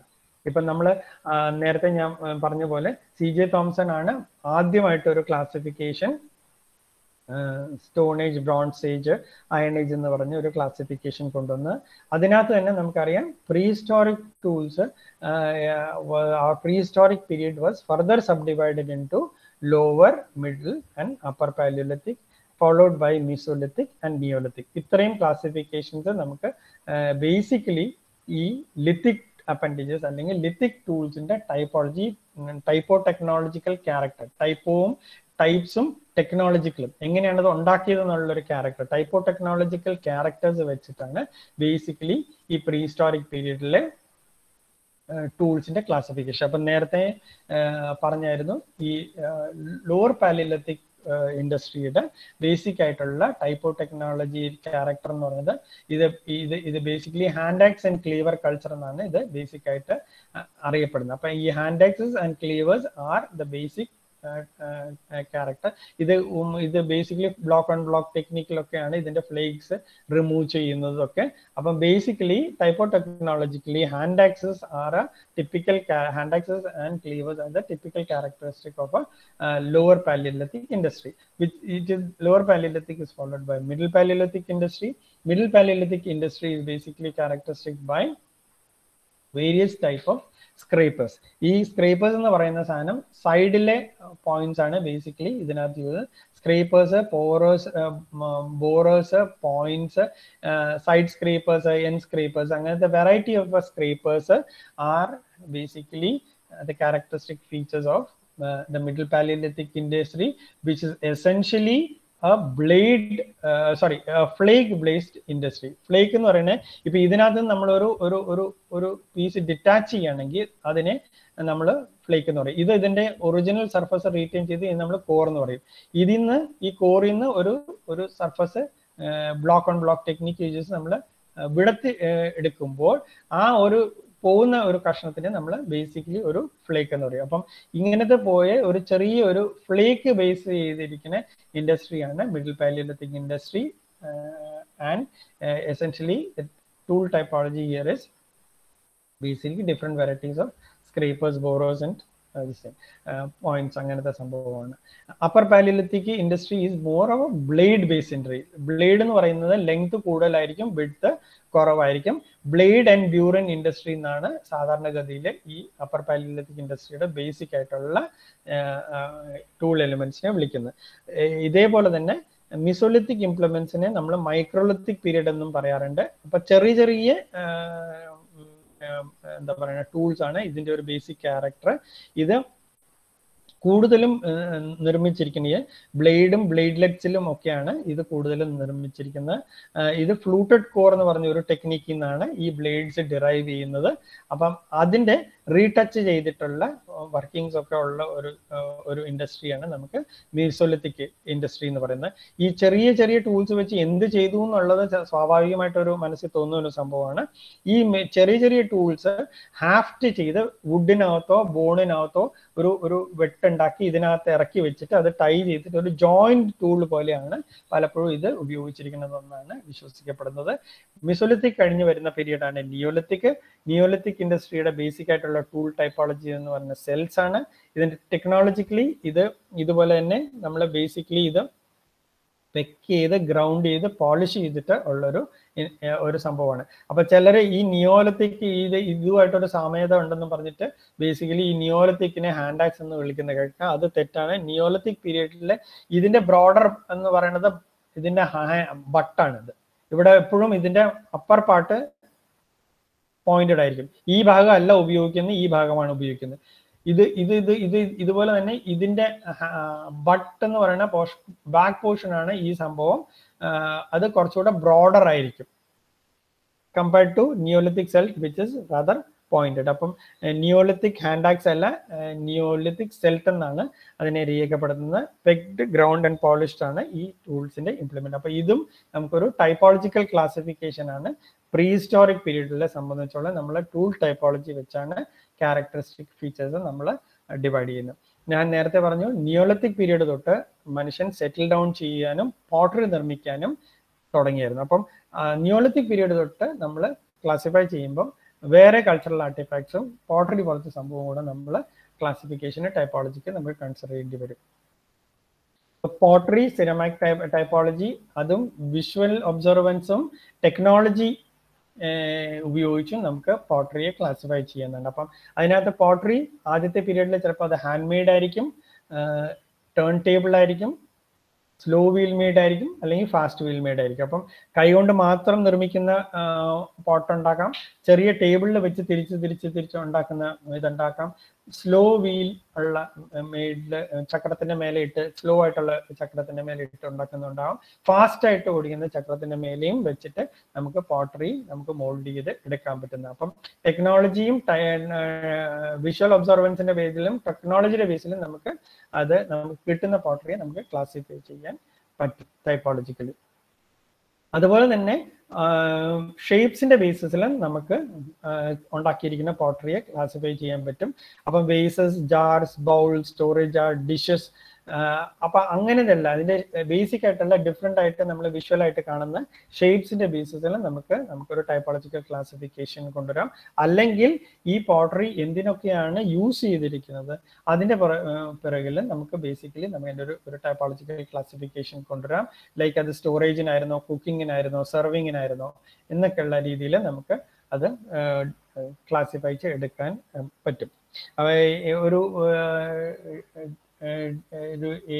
നയന്റീൻ സെഞ്ചുറിയുടെ എൻഡിൽ there was a person call Heinrich Dressel and അദ്ദേഹമാണ് ഒരു ഒരു ഒരു ഒരു വളരെ ഒരു സിസ്റ്റമാറ്റിക് ആയിട്ട് ഒരു ടൈപ്പോളജിക്കൽ ക്ലാസിഫിക്കേഷൻസ് ആംഫോറയിൽ കൊണ്ടുവരാനായിട്ട് ആദ്യമായിട്ട് ട്രൈ ചെയ്യുന്നത്. ആംഫോറ എന്ന് പറയുന്ന ഒരു ഡബിൾ ഹാൻഡിൽ ഒരു pottery and basically roman amphora was used basically to import uh, you know export uh, wine and other fish sauce അങ്ങനത്തെ പ്രോഡക്ട്സ് ഒക്കെ കുറച്ച് ലിക്വിഡ് ആയിട്ടുള്ള മെറ്റീരിയലും ട്രാൻസ്പോർട്ട് ചെയ്യാനായിട്ടുള്ള രീതിയിൽ ഉപയോഗിച്ചെന്നാണ് ഈ റോമൻ ആംഫോറ എന്ന് പറയുന്നത്. അപ്പൊ ഇത്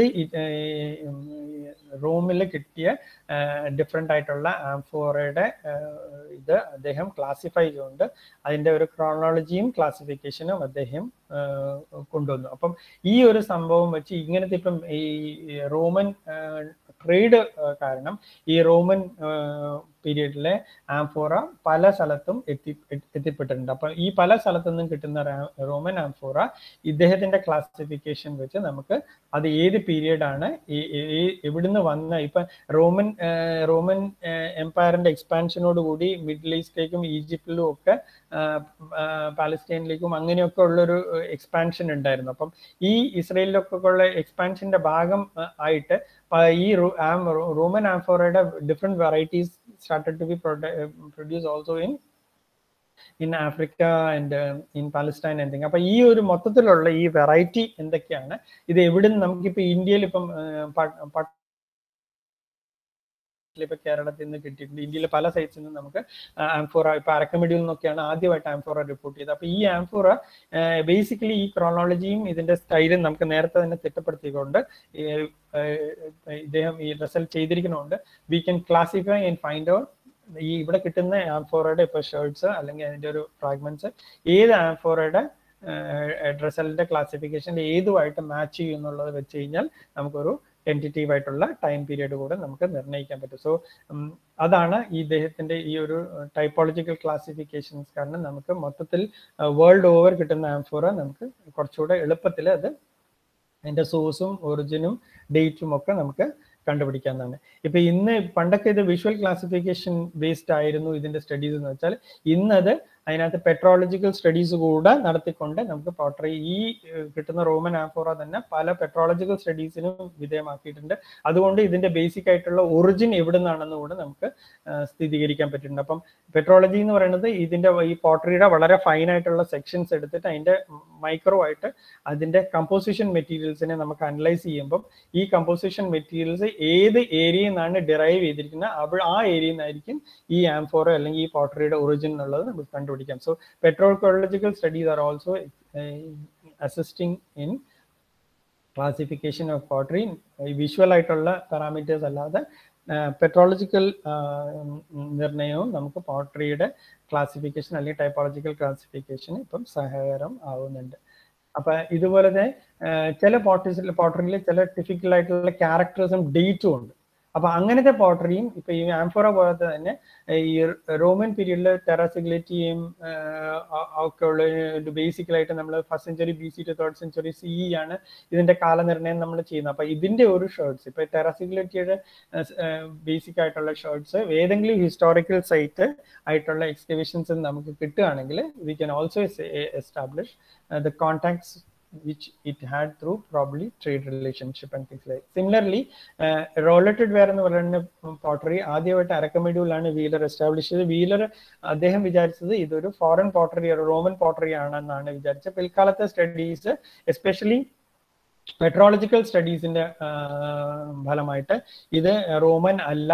ഇത് ബേസിക്കലി താംലുക്ക് അല്ലെങ്കിൽ നമ്മുടെ ബംഗാൾ റീജിയനിൽ നിന്ന് ഉത്ഭവിച്ച ഒരു പോട്ടറിയാണ് and it went into different places because of trade എന്നുള്ള സംഭവം ഏതാണ്ട് എസ്റ്റാബ്ലിഷ് ആണ്. So initially which was thought to be a Roman pottery because of the associated with amphora and other Roman ware due to petrological studies this has been now establish that it is not a foreign pottery but it's a local it's an Indian ware which is manufactured probably in the Bengal region and then transported to various parts of the country and uh, and maritime towns as a result of trade. So petrological studies is, as I said, has now brought out a new feature uh, or a new um, uh, uh, added information that this related ware is something which is rather of an indigenous origin and not foreign origin, though it has been found with associated foreign wear. Now, similarly, uh, as I said, uh, apart from uh, these sort of pottery, there are also some materials which are dated. Now, for punch mark coins, I just uh, stated earlier, we know that the, the earliest coins uh, followed is now there are different coins in North India which you find. Earliest of which is punch mark. In Kerala also, we have there have been reports of Panchma coins from EL Hode and things like that, along with um, Roman coins and uh, things like that. So uh, that clearly shows that Roman coins, which are dated to around the beginning of the Christian era, in that you also find um, this uh, coin. So that clearly shows that this Panchmark coin remained in circulation for quite some time, maybe from around 4th, 5th century BC onward to around 1st century AD also, it, it had not lost its value. Uh, so that sort of evidences can come. Now there are also um, Indo-Greek coins which have Greek legends and things like that, and most of the Indo-Greek uh, kings have been recorded from other sources, and so we know how to place it. ഇതിന്റെ correct ആയിട്ടുള്ള കാലനിർണ്ണയം നമുക്ക് ചെയ്യാൻ പറ്റും and uh, the Kshatrapa kings who ruled in North India and Western India were the first to introduce uh, dates in their coin. Like, you know, the Greco-Romans had uh, dates in their coin. Similarly, the Kshatrapas who followed them also introduced date in, into their coin. So this uh, is basically sometimes dated in Shaka era. And once you know that Shaka era has started in 78 AD, and if that is so, uh, now there are very different opinions about when Shaka era uh, has started, but generally it is said it's 78 AD. If that is so, then we can exactly date this particular coin uh, to uh, to a definite period of dated or known era നമുക്ക് ഇതിനെ date ചെയ്യാൻ പറ്റും. ഈ Guptas who for defeated the western Kshatrapas and came into power they also imitated the uh, the coins uh, basically which wa- basically which was followed by the kshatrapas അപ്പൊ അവരുടെ കോയിൻസിനകത്ത് നമുക്ക് dates കിട്ടുന്നുണ്ട്. So this is a coin silver coins of Chandragupta the second so we know that for sure that when which period did he rule so അതുപോലെ തന്നെ ചിലതിനകത്ത് inscriptions ഇല്ലെങ്കിലും we know from the motifs which is there and the obverse and reverse that they belong to certain dynasty. If the bull symbol is basically related to the Pallavas, so this is a coin which is though, though there is no inscription as a it is a coin based on the Pallava. Similarly, these type of copper coins are basically ഈ കോയിന്റെ typology വെച്ചിട്ടും നമുക്ക് archaeological ആർട്ടിഫാക്ട്സിനെയും archaeological സ്ട്രാറ്റഗ്രാഫിയും നമുക്ക് date ചെയ്യാൻ ഇതല്ലാതെ നമുക്ക് basically palaeography is one another important ഞാൻ നേരത്തെ പറഞ്ഞു ഇപ്പൊ ഇൻസ്ക്രിപ്ഷൻസ് കിട്ടുകയാണെങ്കിൽ ഇതിനകത്ത് രാജാവിന്റെ പേരോ അല്ലെങ്കിൽ അതിനകത്ത് ഒരു ഡേറ്റ് ഇല്ലെങ്കിൽ പോലും ആ ഇപ്പൊ ബ്രാഹ്മിയുടെ ഒരു ആൽഫബറ്റോ വട്ടെഴുത്തിന്റെ ആൽഫബറ്റോ ഉണ്ടെങ്കിൽ അതിന്റെ ബേസിക് ആയിട്ടുള്ള ക്യാരക്ടർ വെച്ച് നമുക്ക് ബേസിക്കലി അതിന്റെ എന്ന് വെച്ചാൽ ഓരോ പീരീഡിലും ഓരോ കാലഘട്ടത്തിലും ആ സ്ക്രിപ്റ്റിന് ഓരോ തരം ഡെവലപ്മെന്റ് കാണാറുണ്ട്. അങ്ങനെയാണെങ്കിൽ നമുക്ക് അതിന്റെ ബേസിസിൽ വെച്ച് അതിനെ ആ ലെയറിനെയോ അല്ലെങ്കിൽ ആ ഒരു സംഭവത്തിനെ നമുക്കൊരു classification കൊണ്ടുവരാണ്. So palaeography also helps in dating layers and archaeological sites if the are even found in fragmentary conditions seriation is also basically relative ഇപ്പൊ ടൈപ്പോളജി പോലെ തന്നെ സീരിയേഷൻ എന്ന് പറയുന്നത് ഒരു റിലേറ്റീവ് ഡേറ്റിംഗ് മെത്തേഡ് ആണ്. Uh, അതിനകത്ത് ചില പാരാമീറ്റേഴ്സ് ഈ സീരിയേഷന്റെ ഡേറ്റിങ്ങിനകത്ത് ചില പാരാമീറ്റേഴ്സ് ആർ മാൻഡേറ്ററി അപ്പൊ ഈ നമ്മൾ ക്ലാസ് ക്ലാസിഫിക്കേഷൻ അല്ലെങ്കിൽ സീരിയേഷന് വിധേയമാക്കുന്ന മെറ്റീരിയൽ മുഴുവനും ഒരു സിംഗിൾ സൈറ്റിൽ നിന്നായിരിക്കണം അല്ലെങ്കിൽ ആ സിംഗിൾ സൈറ്റിൽ ഒരു സിംഗിൾ കൾച്ചറൽ കോണ്ടെക്സ്റ്റ് നിന്ന് ദാറ്റ് ഒരു ലെയറിൽ നിന്ന് ഒരു ഒരു സൈറ്റിൽ നിന്ന് മാത്രമല്ല ഒരു ലെയറിൽ നിന്ന് കിട്ടുന്ന മെറ്റീരിയൽ മാത്രമാണ് ഒന്നിച്ച് നമ്മൾ അതിനെ ബേസിക്കലായിട്ട് സീരിയേഷന് വിധേയമാക്കുന്നത്.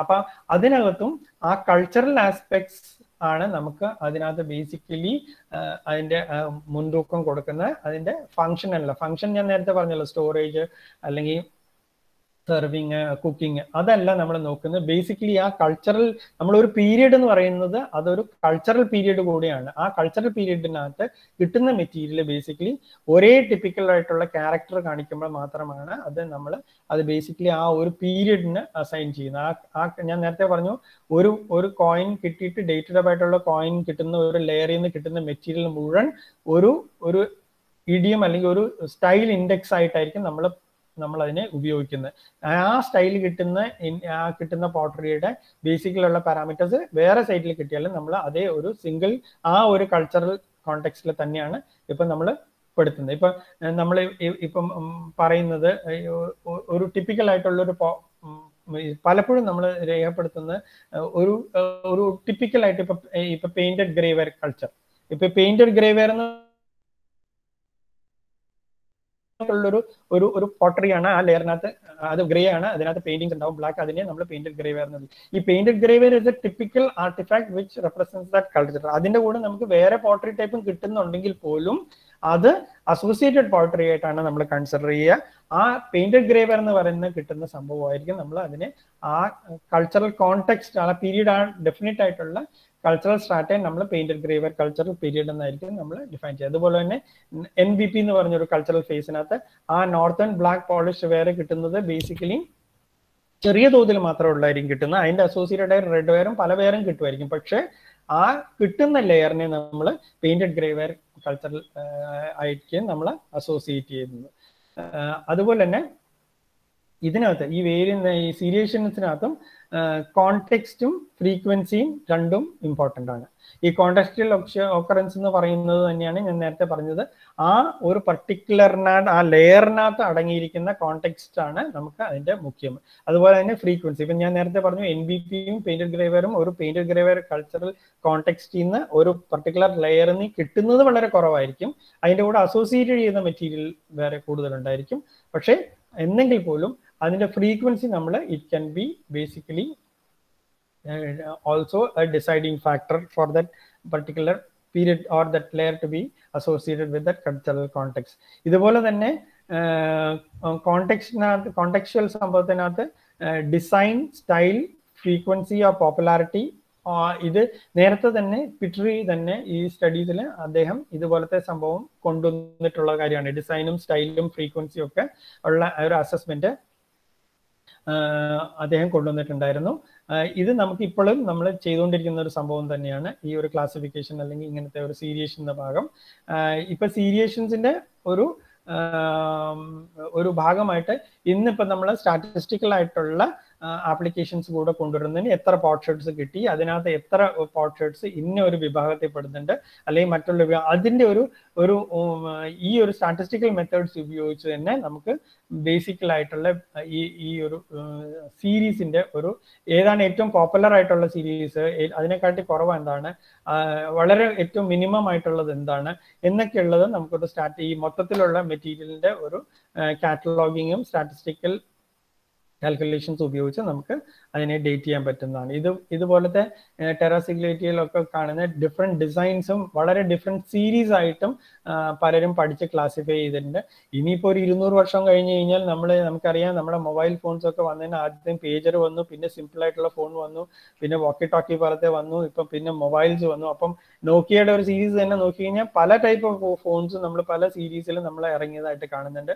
ഇനി ഒരു ഇരുന്നൂറ് വർഷം കഴിയുമ്പോൾ വേണമെങ്കിൽ അന്നത്തെ ആർക്കിയോളജിസ്റ്റ് ചിലപ്പം ഇന്ന് പോലത്തെ മൊബൈൽ ഫോൺസിന്റെ ആർക്കിയോളജി എന്ന് വേണമെങ്കിൽ രേഖപ്പെടുത്തിക്കൊണ്ട് പല സീരീസിന്റെയും മൊബൈൽ ഫോൺസ് വേണമെങ്കിലും ക്ലാസിഫൈ ചെയ്യാൻ പറ്റുന്ന ഒരു രീതിയിലേക്ക് മാറും. So seriation is not just method which already archaeology it can be applicable to other other disciplines to രണ്ട് മെത്തേഡാണ് നമ്മൾ നേരത്തെ ഒരു രേഖപ്പെടുത്തി. ഇത്രയും നേരം നമ്മൾ സംസാരിച്ചുകൊണ്ടിരുന്ന റിലേറ്റീവ് ഡേറ്റിംഗ് മെത്തേഡ്സിനെ കുറിച്ചാണ്. പിന്നെ അബ്സല്യൂട്ട് ഡേറ്റിംഗ് മെത്തേഡ് എന്നുള്ള പറഞ്ഞ ഡേറ്റിംഗ്സ് ഉണ്ട്. ഇത് കൂടുതലും കെമിക്കൽ ആയിട്ടുള്ള ഇൻവോൾവ്മെന്റും ഉള്ള ഒരു ഡേറ്റിംഗ് മെത്തേഡാണ് അപ്പം ഉം, ഇതിനകത്ത് ഈ അബ്സല്യൂട്ട് ഡേറ്റിംഗ് മെത്തേഡ്സിനകത്ത് വളരെ ഏറ്റവും പോപ്പുലർ ആയിട്ട് ഉള്ളൊരു ഡേറ്റിംഗ് മെത്തേഡ് എന്ന് പറയുന്നത് റേഡിയോ കാർബൺ ഡേറ്റിംഗ് മെത്തേഡാണ് ഇപ്പൊ ആം, ഈ റേഡിയോ കാർബൺ ഡേറ്റിങ്ങിനെ കുറിച്ച് പലർക്കും അറ്റ്ലീസ്റ്റ് പേരുമുണ്ട് ഒരു അവബോധമുണ്ട്. അപ്പൊ ഇത് എന്താണ് സംഭവം എന്നൊക്കെ ഉള്ളത് പലർക്കും അറിയില്ല. ഇപ്പം ഒരു അമ്മിക്കല്ല് കിട്ടിക്കഴിഞ്ഞാലും ആൾക്കാർ ചോദിക്കാറുണ്ട് ഇതൊന്നും നിങ്ങൾ സി ഫോർട്ടീൻ ഡേറ്റിംഗ് ചെയ്ത് എത്ര ഡേറ്റ് ഉണ്ടെന്ന് പറയാൻ പറ്റുമെന്ന്? ഒരു അമ്മിക്കല്ല് എടുത്തിട്ട് കൊണ്ടൊരു സി ഫോർട്ടീൻ ചെയ്യാൻ പറ്റത്തില്ല. പക്ഷെ ആൾക്കാർക്ക് ഈ സി ഫോർട്ടീൻ എന്നുള്ള ഡേറ്റിംഗ് മെത്തേഡ് ഏതായാലും അറിവുള്ളത് കൊണ്ട് പലർക്കും പല എല്ലാ മെറ്റീരിയലിനും സംഭവങ്ങളും റേഡിയോ കാർബൺ ഉപയോഗിച്ച് നമുക്ക് ഡേറ്റ് ചെയ്യാന്നുള്ളൊരു ഒരു ഒരു ധാരണയിലാണ് ഇരിക്കുന്നത്. പക്ഷെ റേഡിയോ കാർബണിനും ചില ലിമിറ്റേഷൻസ് ഉണ്ട്. സ്റ്റോൺ ആയിട്ടുള്ള മെറ്റീരിയൽ ഒന്നും നമുക്ക് റേഡിയോ കാർബൺ ഡേറ്റിംഗ്സ് ഉപയോഗിച്ചിട്ട് ചെയ്യാൻ പറ്റൂല. ഈ റേഡിയോ കാർബൺ ഡേറ്റിംഗ് എന്ന് പറയുന്നത് തന്നെ it was invented by W F Libby in nineteen forty eight. And Adehatine, he was also awarded a Nobel Prize for this inventing this radiocarbon dating method. And it is the most popular uh, dating method uh, available. And uh, um, this particular uh, dating method has actually revolutionized archaeological research and it has helped in chronologically sequence of cultures out the world നമുക്കൊരു dated രീതിയിലെ മാതൃകയിൽ നമുക്ക് കൾച്ചറിനെ sequence ചെയ്യാൻ പറ്റുന്നത് basically dating methods ഉള്ളത് കൊണ്ടാണ് പല world over ഉള്ള കൾച്ചേഴ്സിൽ നിന്ന് പലയിടത്തു നിന്ന് ഇമ്പോർട്ടന്റ് ആയിട്ട് ക്രോണോളജിക്കൽ സീക്വൻസിനെ ഹെൽപ്പ് ചെയ്തത് ഈ സി ഫോർട്ടീൻ ഡേറ്റിംഗ് മെത്തേഡ് തന്നെയാണ്. ആൻഡ് ഇന്ന്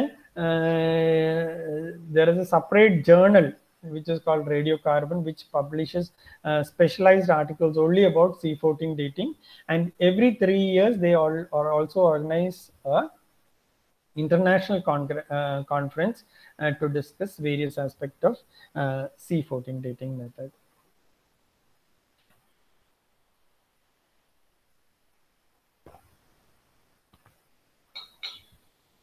Now, uh, what is is the chemistry between C14 dating എന്ന് നമുക്ക് പരിശോധിക്കാം.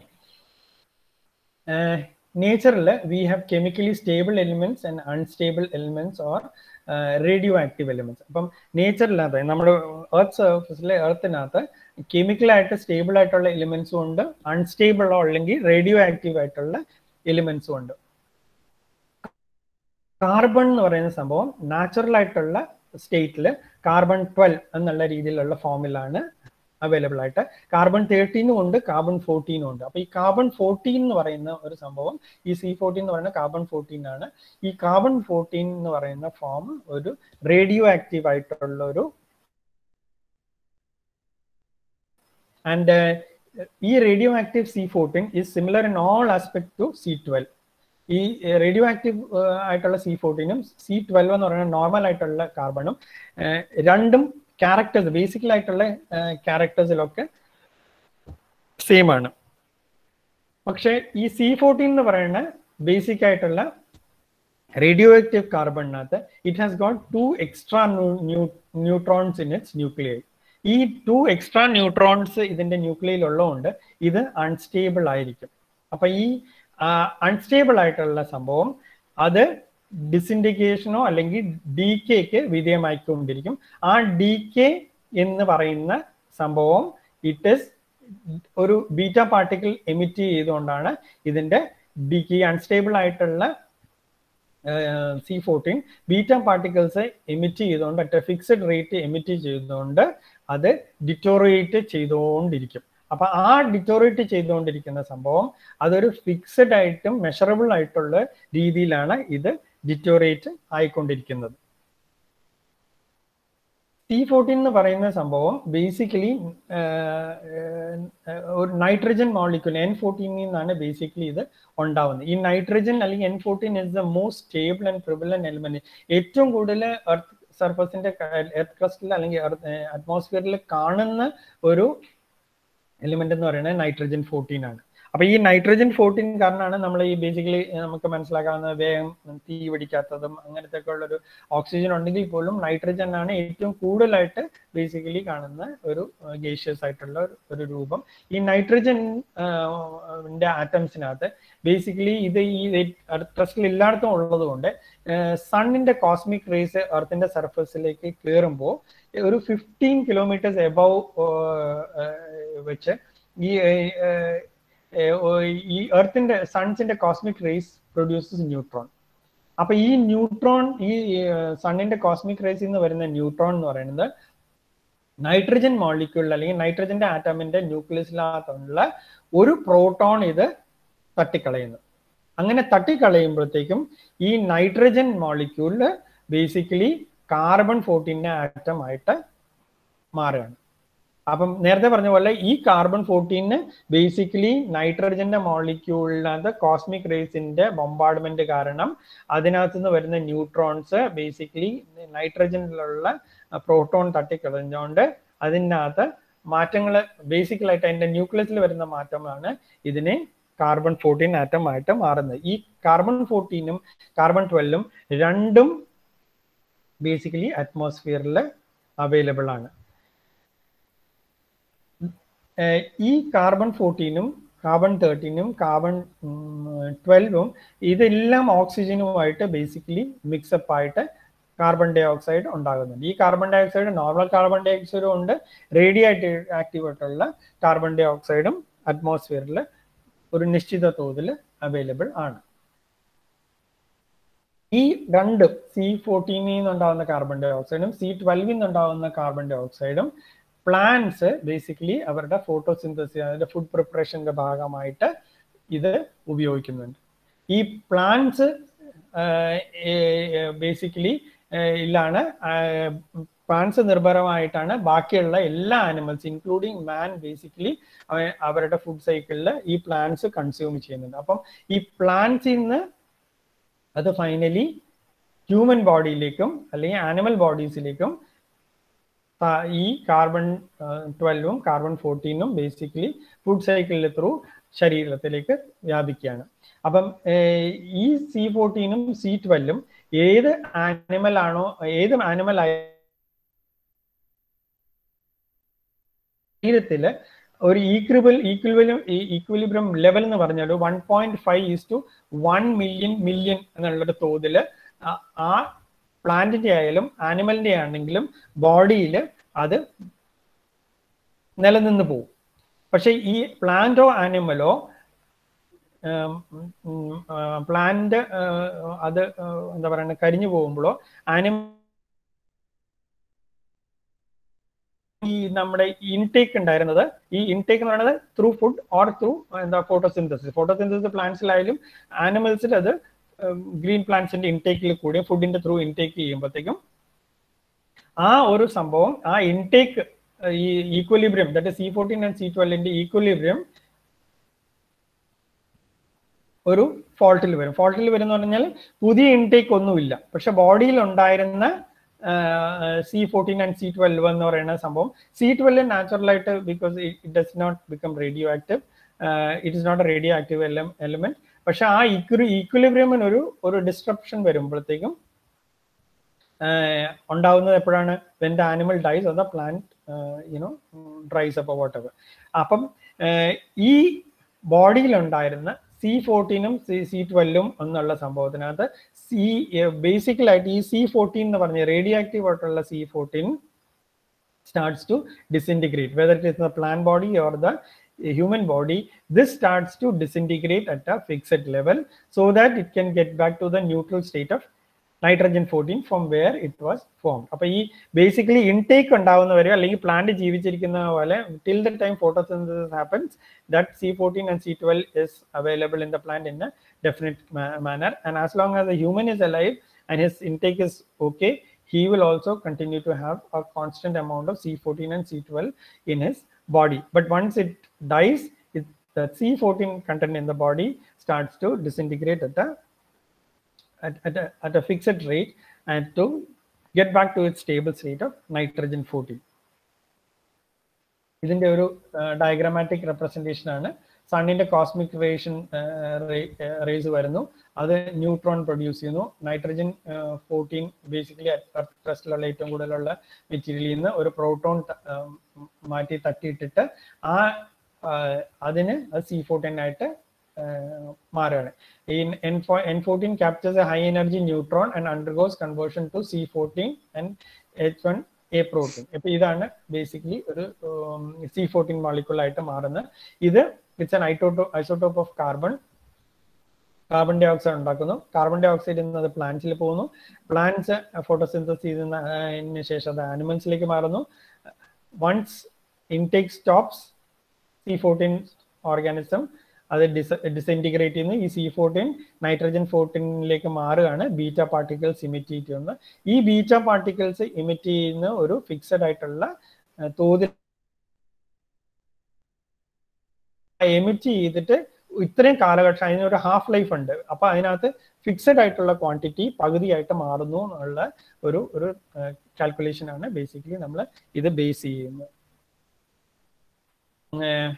നമ്മൾ നേരത്തെ പറഞ്ഞ പോലെ C ഫോർട്ടീനും C twelve one point five parts of a million million എന്നുള്ള ഒരു ഒരു രീതിയിലാണ് ഒരു ഫിക്സഡ് ആയിട്ടുള്ള ഒരു ഒരു തോതിലാണ് എർത്ത് ട്രസ്റ്റിൽ അവൈലബിൾ ആയിട്ടിരിക്കുന്നത്. അപ്പൊ it is estimated that seven point five K Gs of C fourteen is produce annually അപ്പൊ അതിനകത്ത് ഡിറ്റോറേഷൻ ഉള്ളതുകൊണ്ട് പുതിയതായിട്ട് ക്രിയേറ്റ് ചെയ്യുന്നുണ്ട്. അപ്പൊ ഇതെല്ലാം കൂടെ നമ്മൾ മൊത്തത്തിലുള്ള ഒരു at any given point time ഇപ്പൊ ഇതിപ്പം ബേസിക്കലി ഒരു ആനുവലി ആണ് seven point five K Gs C twelve ഈ ബേസിക് കോസ്മിക് റേഡിയേഷൻസ് കാരണം നൈട്രജന്റെ കൺവേർഷനകത്ത് നമ്മൾ ഉണ്ടാക്കുന്നത്. പക്ഷെ എർത്തിന്റെ മൊത്തത്തിലുള്ള ക്രസ്റ്റ് ഇത്രയും കാലഘട്ടത്തിന്റെ നമ്മൾ നോക്കുകയാണെങ്കിൽ ഒരു sixty two tons of C fourteen is available at any given point of time അപ്പം ആ സിക്സ്റ്റി ഫൈവ് ടൺസ് ഒരു അത് ഡി കെ ഉണ്ടാവും ഗെറ്റിംഗ് ബാക്ക് ടു നൈട്രജൻ ഉണ്ടാവും പുതിയ ഫോർമേഷൻ ഉണ്ട്. പക്ഷേ ഈ സിക്സ്റ്റി ടു ടൺസ് എന്നുള്ള ഒരു സംഭവം എനി പോയിന്റ് ഓഫ് ടൈം അത്രയും ഉണ്ടാവുമെന്നാണ് വിശ്വസിക്കപ്പെടുന്നത്. And it is estimated that one gram of C fourteen brings about fourteen beta particles per minute that ഞാൻ നേരത്തെ പറഞ്ഞായിരുന്നു കാർബൺ ഫോർട്ടീൻ ഡിസിന്റിഗ്രേഷൻ ചെയ്യുന്നത് ബീറ്റ പാർട്ടിക്കിൾസ് എമിറ്റ് ചെയ്ത് കളഞ്ഞ അല്ലെ ബീറ്റ പാർട്ടിക്കിൾസ് അത് എമിറ്റ് ചെയ്തുകൊണ്ടാണ്. പിന്നെ അത് നൈട്രജൻ ഫോർട്ടീനിലേക്ക് അത് ആ സ്റ്റേബിൾ ഫോമിലേക്ക് മാറിക്കൊണ്ടിരിക്കുന്നത്. അപ്പം ബേസിക്കലി ഒരു മിനിറ്റിൽ ഫോർട്ടീൻ ബീറ്റ പാർട്ടിക്കിൾസ് വെച്ച് ഈ സി ഫോർട്ടീൻ എന്ന് പറയുന്ന സാധനം ജനറേറ്റ് ചെയ്തുകൊണ്ടിരിക്കുകയാണ്. When it's in the process of getting back in to the nitrogen fourteen form which it was form അപ്പം five thousand five thousand seven hundred and thirty years കഴിയുമ്പോൾ ഇതിനകത്ത് ഈ സി ഫോർട്ടീനകത്ത് ആദ്യത്തിനെക്കാട്ടി only half the amount of C fourteen will remain എന്ന് വെച്ചാൽ ഇത് full continuous ആയിട്ട് beta particles emit ചെയ്ത് എമിറ്റ് ചെയ്ത് പോയിക്കൊണ്ടിരിക്കുകയാണ് അങ്ങനെ പോയിക്കൊണ്ട് പോയിക്കൊണ്ടിരിക്കുമ്പോൾ ഈ five thousand seven hundred thirty years കഴിയുമ്പോൾ ഇതിനകത്ത് ഈ സി ഫോർട്ടീൻ എന്ന് പറഞ്ഞ സംഭവത്തിന്റെ തോത് എന്ന് പറയുന്നത് ഹാഫ് ആയിട്ട് ബേസിക്കലി റെഡ്യൂസ് ചെയ്യും എന്നുള്ളതാണ് നമ്മൾ ബേസിക്കലി ഇതിന്റെ ഒരു ഹാഫ് ലൈഫ് എന്നുള്ള രീതിയിൽ five thousand seven hundred thirty years ആണ് ഈ ഹാഫ് ലൈഫ് ഓഫ് കാർബൺ അതിങ്ങനെ പിന്നെ ഇതിന്റെ ഫൈവ് തൗസൻഡ് ഇതിന്റെ ഒരു കാലം വരുമ്പോൾ അതിനെക്കാട്ടി ഈ ഫൈവ് തൗസൻഡ് സെവൻ ഹൺഡ്രഡിൽ ഉണ്ടായിരുന്ന ഹാഫ് എന്ന് പറഞ്ഞ ലെവലിനെക്കാട്ടി പിന്നെയും അത് കുറഞ്ഞു പോകും. അങ്ങനെ ഏതാണ്ട് forty thousand fifty thousand years വരെയുള്ള ഇയേഴ്സിന്റെ നമുക്ക് ബേസിക് ആയിട്ടുള്ള ഡേറ്റിംഗ് ഇതിനകത്ത് ആദ്യം നമ്മൾ പണ്ടത്തെ കാലത്തൊട്ടേക്ക് ബീറ്റാ റൈസ് എങ്ങനെയാണ് അത് എമിറ്റ് ചെയ്യുന്നുള്ള രീതിയിലൊക്കെ ആയിരുന്നു ഇത് കണ്ടുപിടിച്ചെന്ന്. ഇപ്പം നമ്മുടെ ലാബ് ലാബ്സ് ഒക്കെ ഭയങ്കര സൊഫിസ്റ്റിക്കേറ്റഡ് ആക്കിയിട്ടുണ്ട്. അതിന്റെ ഫലസ്വരൂപമായിട്ട് നമ്മൾ ബേസിക്കലി ഈ ഒരു നമ്മൾ കൊടുക്കുന്ന മെറ്റീരിയലിൽ എത്ര കാർബൺ ഫോർട്ടീൻ എലിമെന്റ് ആ ഡെഡ് ഓബ്ജക്റ്റിനകത്തോ അല്ലെങ്കിൽ നമ്മൾ ഡേറ്റിന് കൊടുക്കുന്ന സമയത്ത് എത്ര കാർബൺ ഫോർട്ടീൻ മെറ്റീരിയൽ അതിനകത്ത് ഉണ്ടെന്ന് ഇത് നേരത്തെ നമ്മൾ പറഞ്ഞു ബീറ്റ പാർട്ടിക്കിൾസിന്റെ എമിഷൻ മാത്രം കാൽക്കുലേറ്റ് ചെയ്താണ് ഡേറ്റ് വന്നത്. ഇപ്പൊ ഇത് കാർബൺ ഫോർട്ടീൻ ആക്ച്വൽ ആയിട്ട് ആ സ്പെസിഫിനകത്ത് എത്ര ഉണ്ടെന്നുള്ളത് ഡയറക്റ്റ് ആയിട്ട് നമുക്ക് തിട്ടപ്പെടുത്തി എടുക്കാവുന്നതാണ്. അതിൽ നിന്ന് നമുക്ക് ആ മെറ്റീരിയലിന്റെ ഡേറ്റും നമുക്ക് നിർണയിക്കാൻ പറ്റുന്നതാണ്. Quantity of fourteen remaining is measured by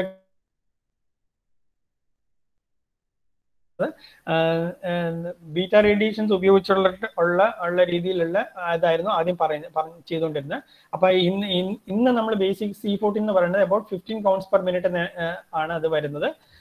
അങ്ങനെ five thousand seven hundred years old ആകുമ്പോൾ ഏതാണ്ട് seven point five counts per minute ആയിരിക്കും വരുന്നത്. ദാറ്റ് ആദ്യം ഫിഫ്റ്റീൻ കൗണ്ട്സ് പെർ മിനിറ്റ് ആയിരിക്കും ഇമ്മീഡിയറ്റ് ആയിട്ട് നമ്മൾ അതൊരു ഡിസിന്റഗ്രേഷൻ തുടങ്ങുമ്പോൾ അതിന്റെ ഫിഫ്റ്റീൻ കൗണ്ട്സ് പെർ മിനിറ്റ് ആയിരിക്കും ബീറ്റ പാർട്ടിക്കലിന്റെ ഇമിഷൻ എങ്കിൽ. അത് five thousand seven hundred years കഴിയുമ്പോൾ അത് beta particles per minute seven point five ആയിട്ട് കുറയുകയാണ്. അപ്പം ഈ ബീറ്റ പാർട്ടിക്കിൾസ് എത്ര എമിറ്റ് ചെയ്യുന്നു എന്നുള്ളത് കൗണ്ട് ചെയ്തിട്ടായിരുന്നു ബേസിക്കലി അന്ന് ആ കാലഘട്ടത്തിലൊക്കെ പഴയ കാലഘട്ടത്തിലൊക്കെ ആദ്യം ഇതിന്റെ ഡേറ്റ്സ് ഒരു സ്പെസിമെന്റ് നിർണയിക്കപ്പെട്ടിരുന്നത്. ലിബി ഇത് ചെയ്തപ്പോഴത്തെ ഈ ബേസിക്കലി ഈ കൗണ്ട്സ് യൂസ് ചെയ്യാൻ അദ്ദേഹം ഈ ഒരു ജിഗർ കൗണ്ടർ എന്ന് പറഞ്ഞ ഒരു സംഭവം അത് വളരെ സെൻസിറ്റീവ് ആയിട്ടുള്ള ഒരു ഇൻസ്ട്രുമെന്റ് ആണ്. അതിനകത്ത് ഈ കാർബൺ മെറ്റീരിയലിന്റെ ഗ്യാസ് ഓർ ലിക്വിഡ് ഫോമിൽ ആക്കിയിട്ട് അതിനകത്തുകൂടെ ഫീഡ് ചെയ്തിട്ടായിരുന്നു അദ്ദേഹം അതിന്റെ ഈ ഇതിനകത്തുള്ള ബീറ്റ പാർട്ടിക്കിൾസിന്റെയും ഉള്ള സംഭവം അദ്ദേഹം രേഖപ്പെടുത്തിയിട്ടുണ്ട്. പക്ഷെ ഇന്നത്തെ കാലഘട്ടത്തിൽ ആക്സിലേറ്റർ മാസ് സ്പെക്ട്രോമീറ്റർ എന്ന് പറഞ്ഞ ഒരു ഇൻസ്ട്രുമെന്റ് കണ്ടുപിടിച്ചിട്ടുണ്ട്. അപ്പൊ ഈ ഒരു ഇൻസ്ട്രുമെന്റിന്റെ ഒരു ഗുണം എന്താണെന്ന് വെച്ചാൽ ഇതിനകത്ത് പണ്ടൊക്കെ നമ്മൾ കുറച്ച് കുറച്ച് ക്വാണ്ടിറ്റിയിലുള്ള കാർബൺ മെറ്റീരിയൽ നമ്മൾ ഒരു ആർക്കിയോളജിക്കൽ സൈറ്റിൽ നിന്ന് കൊടുത്തിട്ട് അതിനകത്ത് നിന്ന് ഇമ്പ്യൂരിറ്റീസ് ഒക്കെ മാറ്റിയിട്ട് വളരെ കുറച്ച് മാത്രമേ ചിലപ്പോൾ നമ്മൾ ഈ മെറ്റീരിയൽ മണ്ണിൽ നിന്നൊക്കെ എടുക്കുന്നതുകൊണ്ട് ചിലപ്പോൾ മണ്ണും പല സംഭവങ്ങളും ആ ഒരു കാർബൺ മെറ്റീരിയലിനകത്ത് ഉണ്ടാവും. അതൊക്കെ കളഞ്ഞിട്ട് കിട്ടുന്ന മെറ്റീരിയൽ ചിലപ്പം വളരെ കുറവായിട്ടുള്ള സംഭവമായിരിക്കും ചെയ്യാം. അതുകൊണ്ട് തന്നെ ഡേറ്റിങ്സ് ഡിറൈവ് ചെയ്യാനും ചിലപ്പോൾ നമ്മൾ സ്പെസിമെൻസ് അയച്ചു കഴിഞ്ഞാലും ചിലപ്പോൾ നമുക്ക് വരുന്ന റിപ്ലൈ ആ സ്പെസിമെൻസ് കൊള്ളൂലെന്നോ അല്ലെങ്കിൽ അതിനകത്ത് പോരെന്നുള്ള രീതിയിലൊക്കെ വരും. പക്ഷേ ഈ ആക്ടർ ആക്സലേറ്റഡ് മാസ് സ്പെക്ട്രോമെറ്റീരിയൽ അല്ലെങ്കിൽ എ എസ് ഡേറ്റിംഗിനകത്ത് വളരെ കുറച്ച് ക്വാണ്ടിറ്റി ഓഫ് മെറ്റീരിയൽ കാർബൺ മെറ്റീരിയലും അവർക്ക് ഈ സർവ ക്ലീനിങ്ങും ചെയ്ത് വൺ ഗ്രാം മെറ്റീരിയൽ പോലും കിട്ടുകയാണെങ്കിൽ അവർക്ക് actual number of carbon fourteens ഈ ചെറിയ മെറ്റീരിയലിനകത്ത് എത്ര സി ഫോർട്ടീൻ ആറ്റംസ് പ്രസന്റ് ആണെന്നുള്ളത് അവർ തിട്ടപ്പെടുത്തിയിട്ട് നമുക്ക് അതിനൊരു ഡേറ്റ് നമുക്ക് കിട്ടാനായിട്ടുള്ള വകുപ്പുണ്ട്. ഇതുപോലെ തന്നെ ഈ കിട്ടുന്ന ഡേറ്റ് കമ്പാരിറ്റീവ് എക്സ്റ്റൻഷൻ അല്ലെങ്കിൽ കാലിബ്രേഷൻ യൂസ് ഡെൻഡോക്രോളജി പോലെ അല്ലെങ്കിൽ വാർ മെത്തേഡിലുള്ള ഡേറ്റിംഗ് മെത്തേഡ്സിന്റെ ഒരു സഹായം കൂടി എടുത്തുകൊണ്ട് ഈ കിട്ടുന്ന ഡേറ്റ്സ് നമുക്ക് ബിഫോർ പ്രസന്റ് അല്ലെങ്കിൽ കാലിബ്രേറ്റഡ് ആയിട്ട് ഒരു ഒരു ഒരു കലണ്ടർ കിയറിലേക്ക് നമുക്ക് കൊണ്ടുവരാൻ പറ്റുന്ന രീതിയിലുള്ള ബിഫോർ പ്രസന്റ് എന്നുള്ള രീതിയിൽ വരെ നമുക്കിപ്പോൾ കൊണ്ടുവരിക്കുന്ന രീതിയിലുള്ള ടെക്നോളജി അവൈലബിൾ ആണ്. അപ്പൊ അതിനകത്ത് എറേഴ്സും ഉണ്ടെങ്കിൽ അതും എറേഴ്സും ഡിമാർക്കേറ്റ് ചെയ്തുകൊണ്ട് നമുക്ക് കിട്ടും. ഇതാണ് ആക്സിലേറ്റർ ആക്സിലേറ്റർ മാസ് സ്പെക്ട്രോമീറ്ററിന്റെ ഒരു ഡെഫിനറ്റ് ആയിട്ടുള്ള ലേ ഔട്ട് ഇപ്പൊ ഇതിനകത്ത് ഇതിന്റെ കെമിസ്ട്രി നമ്മൾ പറഞ്ഞു എന്നേ ഉള്ളൂ. ബേസിക്കലായിട്ട് നമ്മൾ ഈ ഒരു കെമിസ്ട്രി മാത്രം ഇത് എന്താണ് അറിയുന്ന കെമിസ്ട്രി മാത്രം ഇതിനകത്ത് എന്താണ് എന്നുള്ളത് നമ്മൾ അറിഞ്ഞിരുന്നാൽ മാത്രം മതി. ഇത് എങ്ങനെയാണ് ആക്ച്വൽ ആയിട്ട് ഇതിന്റെ സ്പെസിമെൻസ് ഡേറ്റ് ചെയ്യുന്നതും ഒക്കെ നമ്മൾ ഫിസിക്സ് സയന്റിസ്റ്റുകൾ ഉണ്ട്. കെമിസ്ട്രിയിലും ഫിസിക്സിലുള്ള കെമിസ്ട്രികളൊക്കെയാണ് സയന്റിസ്റ്റുകളൊക്കെയാണ് ഇതിന്റെ ഡേറ്റിംഗ് മെത്തേഡിന്റെ ഇൻവോൾവ് നമ്മുടെ ഉത്തരവാദിത്തം നമുക്ക് ഡേറ്റ് ചെയ്യുന്ന മെറ്റീരിയൽ കളക്ട് ചെയ്യുക കൊടുക്കുക എന്നുള്ളതാണ് നമുക്ക് ഡേറ്റിന് അവരത് അതിന്റെ ഡേറ്റ് നിർണയിച്ച് തരും. നമ്മൾ കാർബൺ ഫോർട്ടീനകത്ത് മെറ്റീരിയലിന്റെ ഡേറ്റിങ്ങിന് എന്തൊക്കെയാണ് നമ്മൾ നമുക്ക് ഡേറ്റ് ചെയ്യാൻ പറ്റുന്നത് എന്നുള്ളതിന്റെ ഒരു ഇതാണത് നമ്മൾ നോക്കുന്നത്. കാർബൺ ഫോർട്ടീനിന് കാർബൺ എന്ത് ബേണിംഗ് ആക്ടിവിറ്റി നിന്ന് കിട്ടുകയാണെങ്കിൽ അത് ബോൺസിന്റെയോ ക്ലോ ആക്ടിവിറ്റി ആയാലോ ഷെൽസിന്റെ ആണെങ്കിലും അങ്ങനെ ബേണിംഗ് ആക്ടിവിറ്റി നിന്ന് കിട്ടുന്ന എന്ത് കാർബൺ ആയാലും ഡേറ്റിങ്ങിന് നല്ലതാണ്. അതാണ് അല്ലാതെ bones cloth flesh pollen shells wood nuts ഇതൊക്കെ നമുക്ക് കാർബൺ ഫോർട്ടീനിന് ഡേറ്റിംഗ് ഉപയോഗിക്കാൻ നല്ല മെറ്റീരിയൽ ആണ്. ശ്രദ്ധിക്കേണ്ട കാര്യം ദറ്റ് ഈ കളക്ട് ചെയ്യുന്ന മെറ്റീരിയൽ നമ്മൾ കളക്ട് സൈറ്റിൽ നിന്ന് കളക്ട് ചെയ്തതിന് ശേഷം it should not get contaminated നമ്മൾ കൈകൊണ്ട് തൊടാനോ അല്ലെങ്കിൽ വേറെ എന്തെങ്കിലും ഒരു വെജിറ്റേറ്റീവ് ആയിട്ടുള്ള മെറ്റീരിയലിൽ അത് ഇപ്പം പേപ്പറിനകത്ത് പൊതിയാനോ അല്ലെങ്കിൽ കോട്ടൺ വൂളിനകത്ത് പൊതിയാനോ ഒന്നും ശ്രമിക്കൽ. It should not get contaminated from any other means which can contain basically biodegradable ആയിട്ടുള്ള മെറ്റീരിയലിനകത്തൊന്നും കാർബൺ കണ്ടെയ്നറുള്ള മെറ്റീരിയൽസിനകത്തുള്ള ഉള്ള മെറ്റീരിയൽ ഒന്നും തൊടാതിരിക്കാൻ ശ്രമിക്കുക ബിക്കോസ് അത് റോങ് ഡേറ്റ്സിന് കാരണമായിട്ട് മാറും.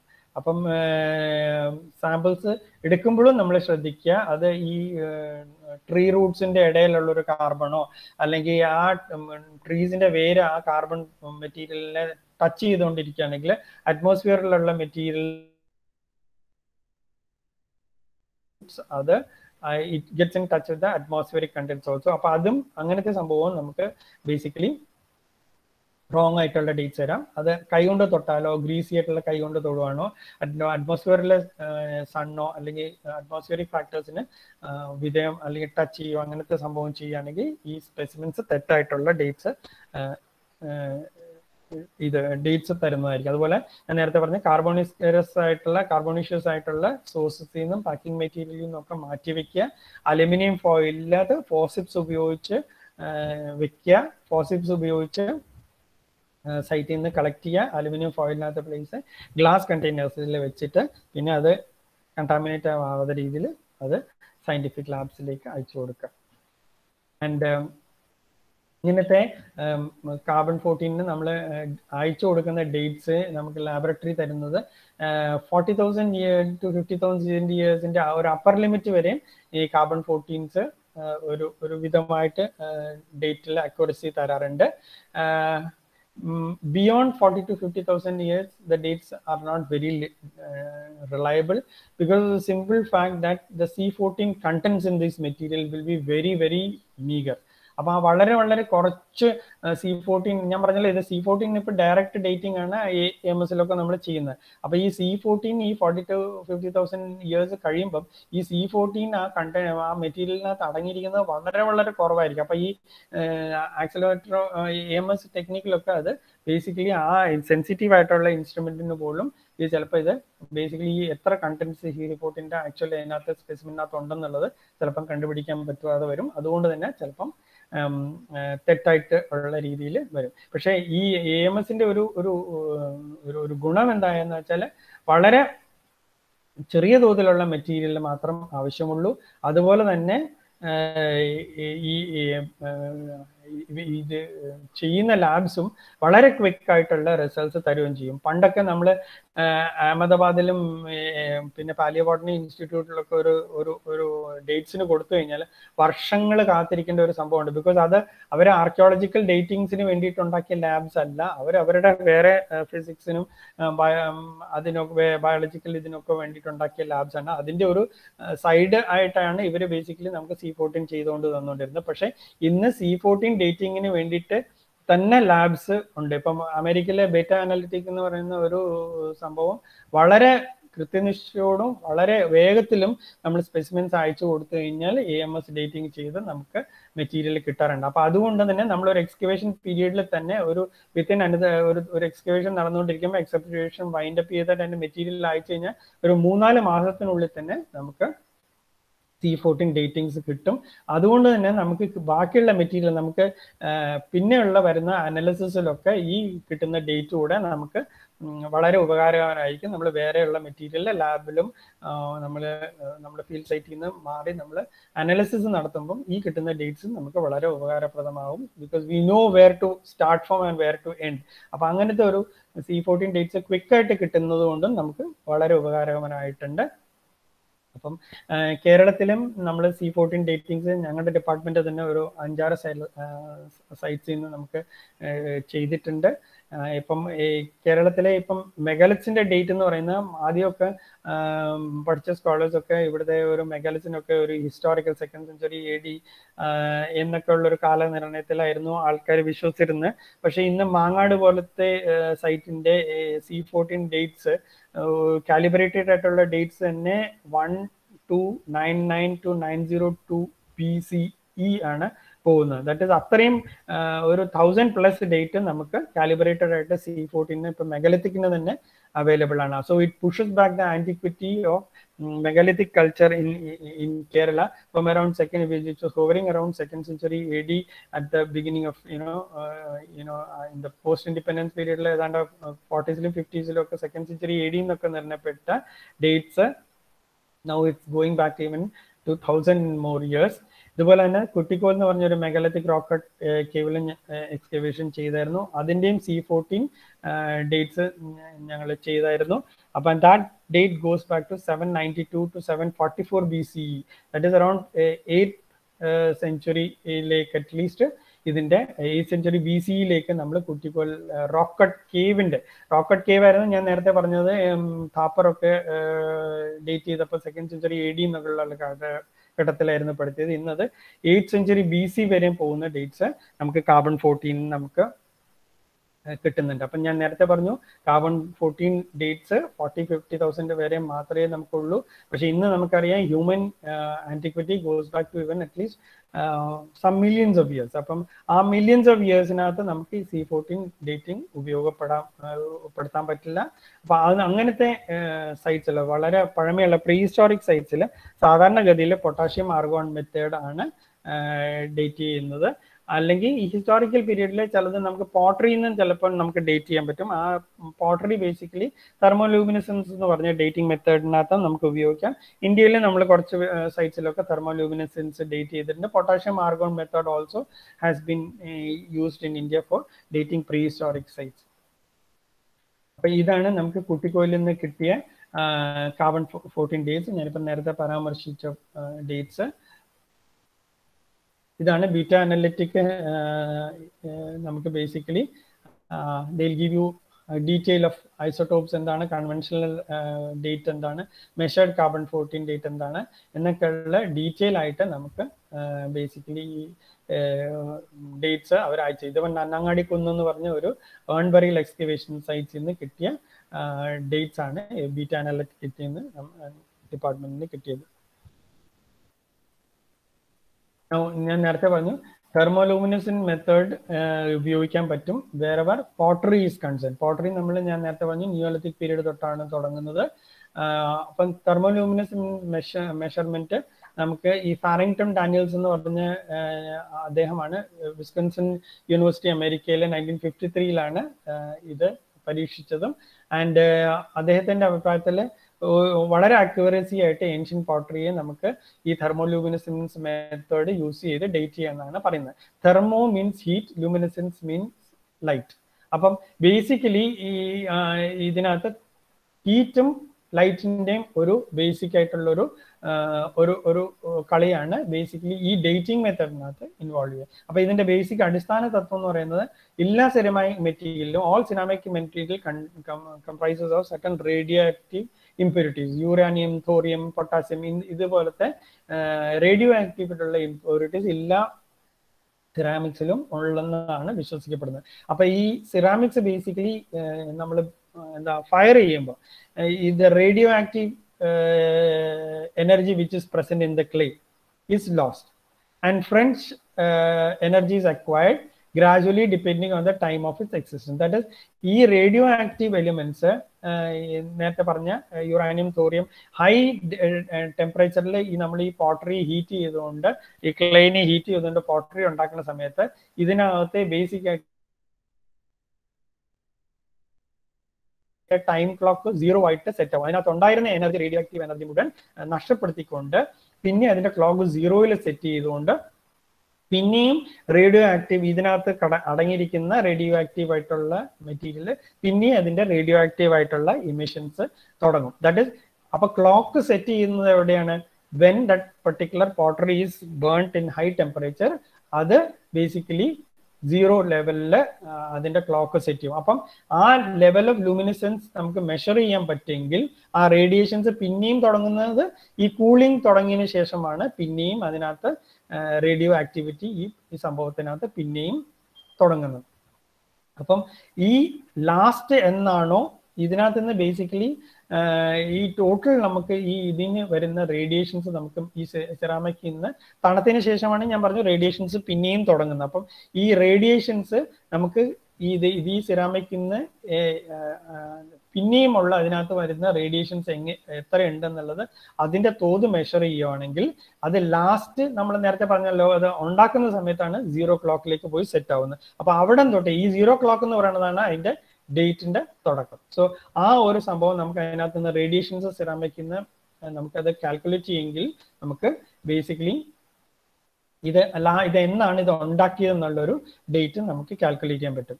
അപ്പം ഇതിനകത്ത് ബേസിക്കലി ഈ സാമ്പിൾസിനെ നമ്മൾ ഒരു ഫൈവ് തൗസൻഡ് ഡിഗ്രീസ് വരെയും ഹീറ്റ് ചെയ്യും. അപ്പൊ അതിനകത്ത് ഇത് ഹീറ്റ് ചെയ്യുമ്പം ഈ ഇതിനകത്ത് അടങ്ങിയിരിക്കുന്ന റേഡിയേഷൻസ് ഒരു ചെറിയ ലൈറ്റിന്റെ ഫോമിൽ അത് പുറത്തോട്ട് വരും. അപ്പൊ ഈ ലൈറ്റ് എന്ന് പറയുന്നത് ഈ ലൂമിനസെൻസ് എന്ന് പറയുന്നത് ലൈറ്റ് ആണ്. ഈ ഫൈവ് തൗസൻഡ് ഡിഗ്രി തെർമോ അല്ലെങ്കിൽ ടെമ്പറേച്ചറിൽ നമ്മൾ അത് ഹീറ്റ് ചെയ്യുമ്പോൾ അതിൽ നിന്ന് വരുന്ന ഒരു ബേസിക് ആയിട്ടുള്ള ഒരു ചെറിയ ലൈറ്റ് അല്ലെങ്കിൽ ഗ്ലോ ആണ് ഈ ലൂമിനസെൻസ് ആയിട്ട് വരുന്നത്. ഈ ലൂമിനസെൻസ് വളരെ സെൻസിറ്റീവ് ആയുള്ള ഇൻസ്ട്രുമെന്റ്സ് കൊണ്ട് നമ്മൾ അത് റീഡ് ചെയ്തിട്ട് അതിനൊരു ടൈം തിട്ടപ്പെടുത്താൻ പറ്റും. അത് ഈ- റേഡിയേഷൻസ് ഇന്ന് നമുക്ക് എത്രയാണോ അത് പ്രൊപ്പോർഷണൽ ആയിട്ട് ആ റേഡിയേഷൻസിന്റെ ഇതിൽ നിന്ന് നമുക്ക് ആ കിട്ടുന്നതിൽ നിന്ന് നമുക്ക് അതിന്റെ ഇയേഴ്സ് എത്രയാണെന്നുള്ളത് തിട്ടപ്പെടുത്തിയെടുക്കാൻ പറ്റും. അപ്പൊ ഈ ആർക്കിയോളജിക്കൽ കോൺടെക്സ്റ്റിൽ ഈ തെർമോലൂമിനസൻ മെത്തേഡ് മെഗലത്തിക് പോട്ടറി കുമരനഹള്ളി എന്ന് പറഞ്ഞ സൈറ്റ് ഇത് ചിത്രദുർഗ കർണാടകയിലാണ്.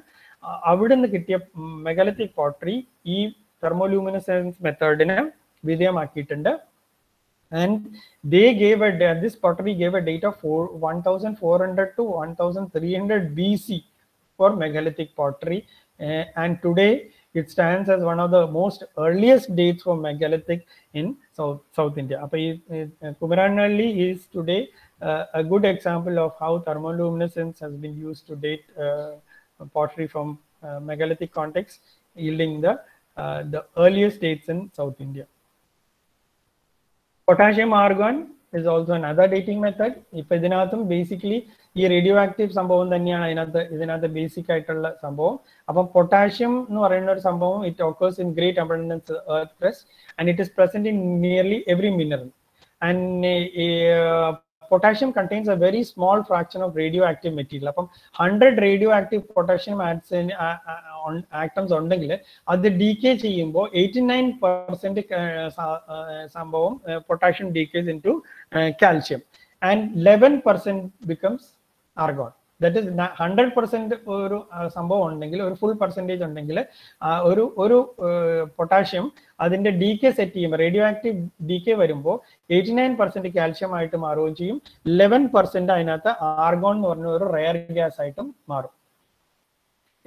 ബേസിക്കലി റോക്കിന്റെ ഫോർമേഷൻ ഈ വോൾക്കാനിക് ആയിട്ടുള്ള ലോക്ക് റോക്കിന്റെ ഫോർമേഷൻ ലാവാം ടഫ്സ് പ്യൂമിസ് എന്നൊക്കെയുള്ള പറഞ്ഞ് ഈ വോൾക്കാനിക് റോക്കിന്റെ ഫോം ചെയ്യുന്ന റോക്ക് ഫോർമേഷന്റെ ഇത്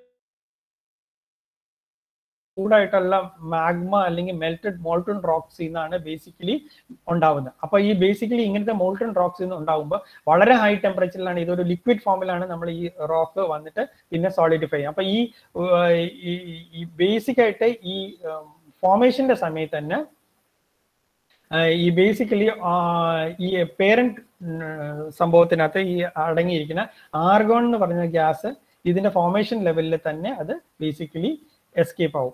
പക്ഷെ ഇത് കൂൾ ഡൗൺ ചെയ്യുമ്പോഴത്തേക്കും ആ റേഡിയോ ആക്റ്റീവ് പൊട്ടാസ്യം അതിനകത്ത് അടങ്ങിയിരിക്കുന്ന പിന്നെയും റേഡിയോ ആക്റ്റീവ് പ്രോസസ്സ് കണ്ടിന്യൂ ചെയ്യും. അപ്പൊ അങ്ങനെ ഇരിക്കുമ്പോൾ ഈ പൊട്ടാഷ്യം പിന്നെയും നമ്മൾ നേരത്തെ പറഞ്ഞ പോലെ എയ്റ്റി നയൻ പെർസെന്റ് കാൽഷ്യവും ലെവൻ പെർസെന്റ് ആയിട്ടുള്ള ആർഗൺ ആയിട്ട് ഈ ഫോർമേഷന് ശേഷം പിന്നെയും അതിനകത്ത് ആ പ്രോസസ്സ് കണ്ടിന്യൂ ചെയ്യും. അങ്ങനെ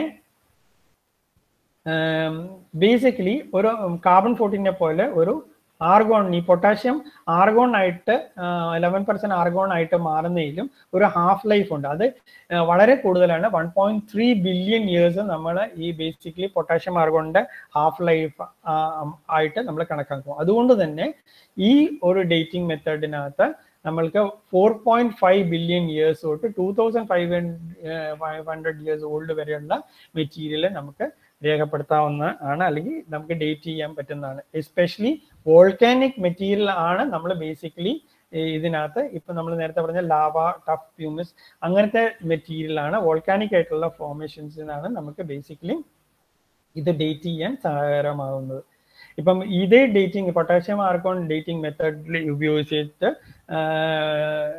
ബോറി മഹാരാഷ്ട്രയിൽ ഒരു സൈറ്റിൽ പൊട്ടാഷ്യം ആർക്കോണിങ് ഡേറ്റ് ചെയ്തിട്ട് അവിടെ വോൾക്കാനിക് ആഷ് ഒരു ലെയർ കണ്ടെത്തി.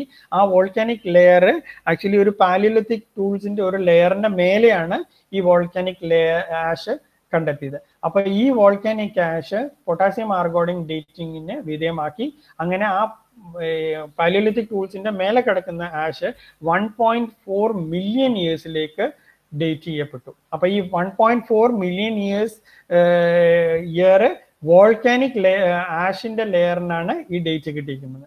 പാലിയോലിറ്റ്സോ പാലിയുലിറ്റ്സ് ഈ വോൾക്കാനിക് ആഷിന്റെ താഴെയാണ് കിടക്കുന്നത്. അപ്പം അതിൽ നിന്ന് മനസ്സിലാക്കാം ഈ നമ്മൾ നേരത്തെ പറഞ്ഞ പോലെ സ്റ്റാറ്റിഗ്രാഫി സീക്വൻസ് വെച്ച് നോക്കുവാണെങ്കിൽ ഒബ്വിയസ്ലി ഈ വൺ പോയിന്റ് ഫൈവ് മില്യൺ ഇയേഴ്സിനെ കാട്ടി പഴമയുള്ള ഒരു ലെയറിലാണ് ഈ പാലിയോലിത്തിക് ടൂൾസ് കിടക്കുന്നത്.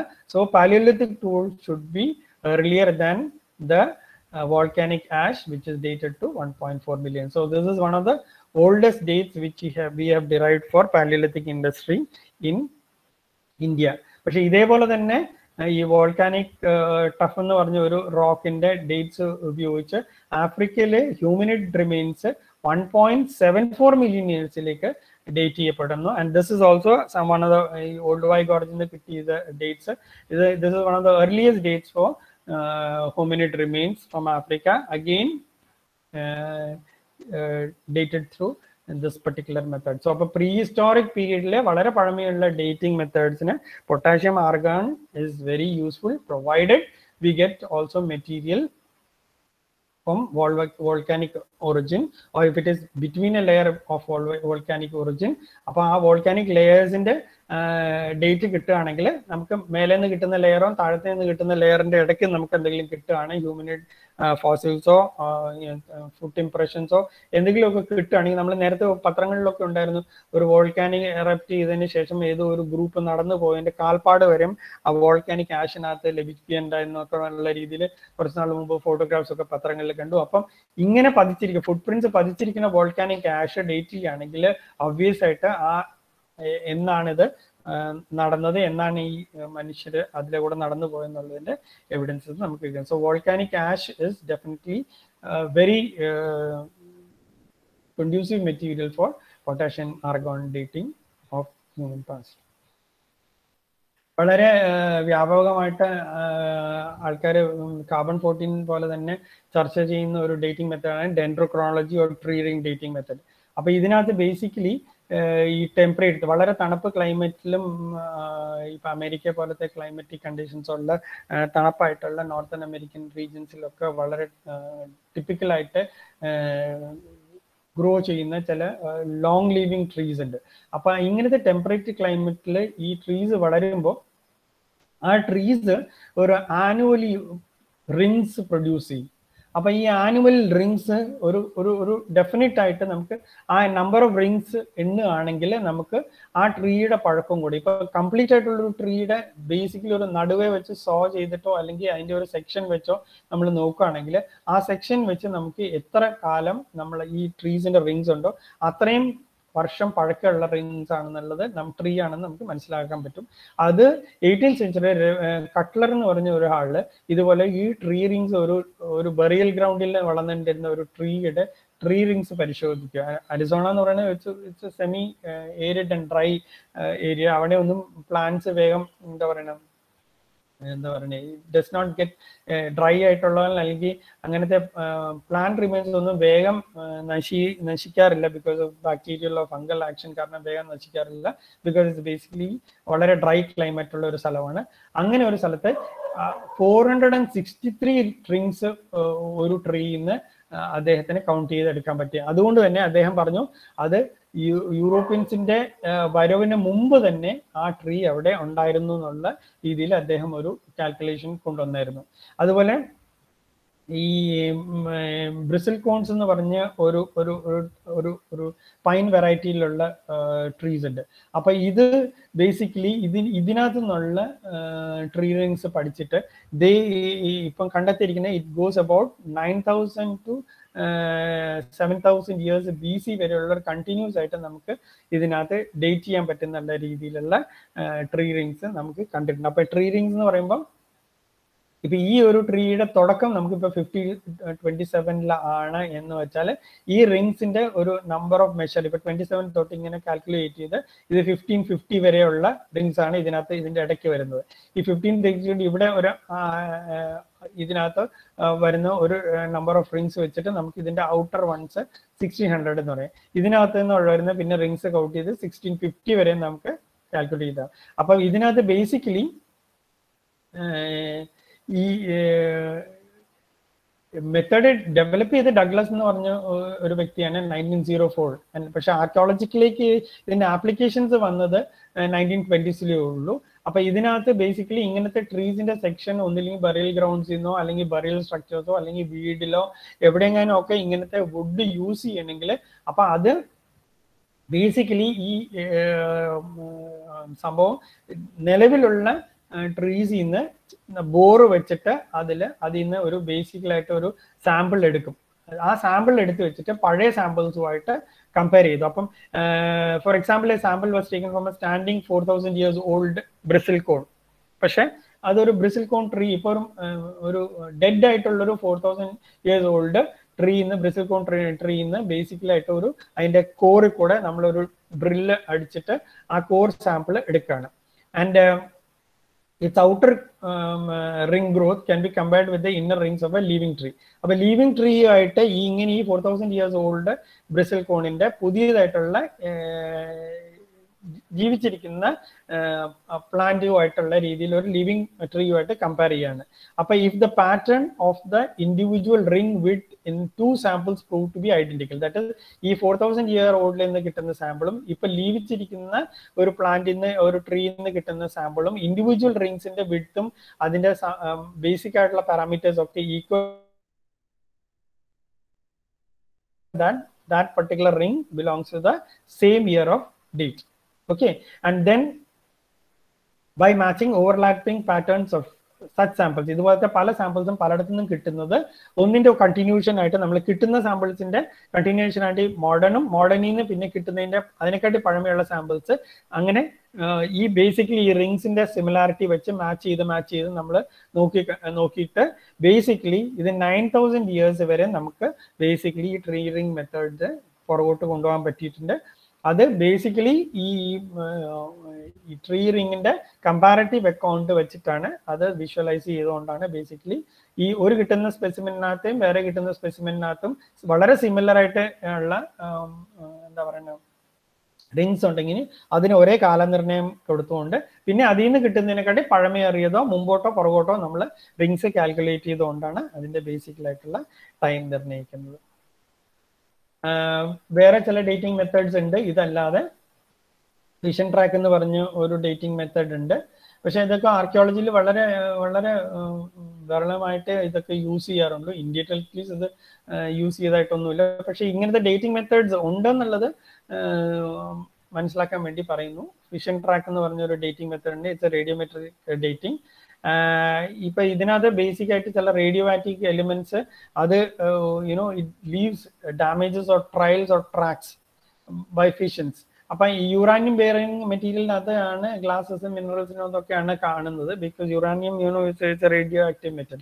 അപ്പൊ അങ്ങനെ ലീവ് ചെയ്യുന്ന ഫിഷൻസിനെയും ട്രാക്സിനെയും ബേസിക്കലി ഡേറ്റ് ചെയ്യാന്നുള്ള ഒരു മെത്തഡോളജിയാണ് ഈ ഫിഷൻ ട്രാക്ക് എന്ന് പറയുന്നത്. ഈ ഫിഷൻ കാരണം ഇതിന്റെ മൂവ്മെന്റ് കാരണം വരുന്ന ട്രാക്സ് ഡേറ്റ് ചെയ്യുന്നത്. അതുപോലെ തന്നെ വാർ ഡേറ്റിംഗ് എന്ന് പറഞ്ഞ ഒരു സംഭവം യൂറോപ്പിലും സ്വീഡനിലും ഒക്കെ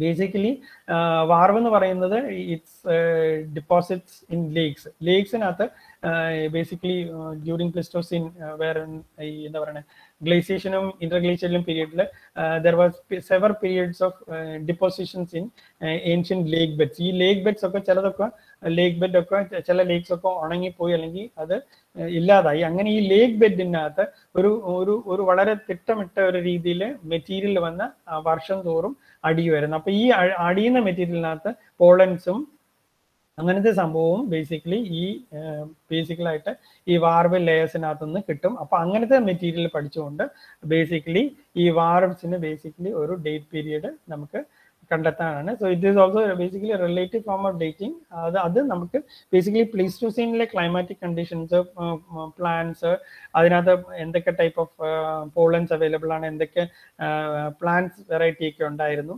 അങ്ങനത്തെ ഒക്കെ നിർണയിക്കാനായിട്ട് ഈ വാർവിന്റെ ഡേറ്റിംഗ്സ് ഇപ്പം പ്ലാന്റ്സിന്റെയും ആനിമൽസിന്റെയും കൊണ്ട് അഗെയിൻ ഒരു ടെന്റേറ്റീവ് ആയിട്ടുള്ള ഒരു സീക്വൻസ് ക്രിയേറ്റ് ചെയ്യാനായിട്ട് വാറോ ഡേറ്റിംഗിന് പറ്റും അതല്ലാതെ uranium തൊറാനിയം thorium dating method paleo magnetic dating method pollen analysis ഇങ്ങനത്തെ വളരെ ഡേറ്റിംഗ് അതേ ഡേറ്റിംഗ് മെത്തേഡ് ഉണ്ട് പക്ഷേ ഈ നേരത്തെ സൂചിപ്പിച്ചതും നേരത്തെ പറഞ്ഞ് ഡിസ്കസ് ചെയ്തതുമാണ് വളരെ പോപ്പുലർ ആയിട്ടുള്ള ആർക്കിയോളജിയിൽ ഉപയോഗിക്കുന്ന dating methods thank you all for your patience listening. Stay safe.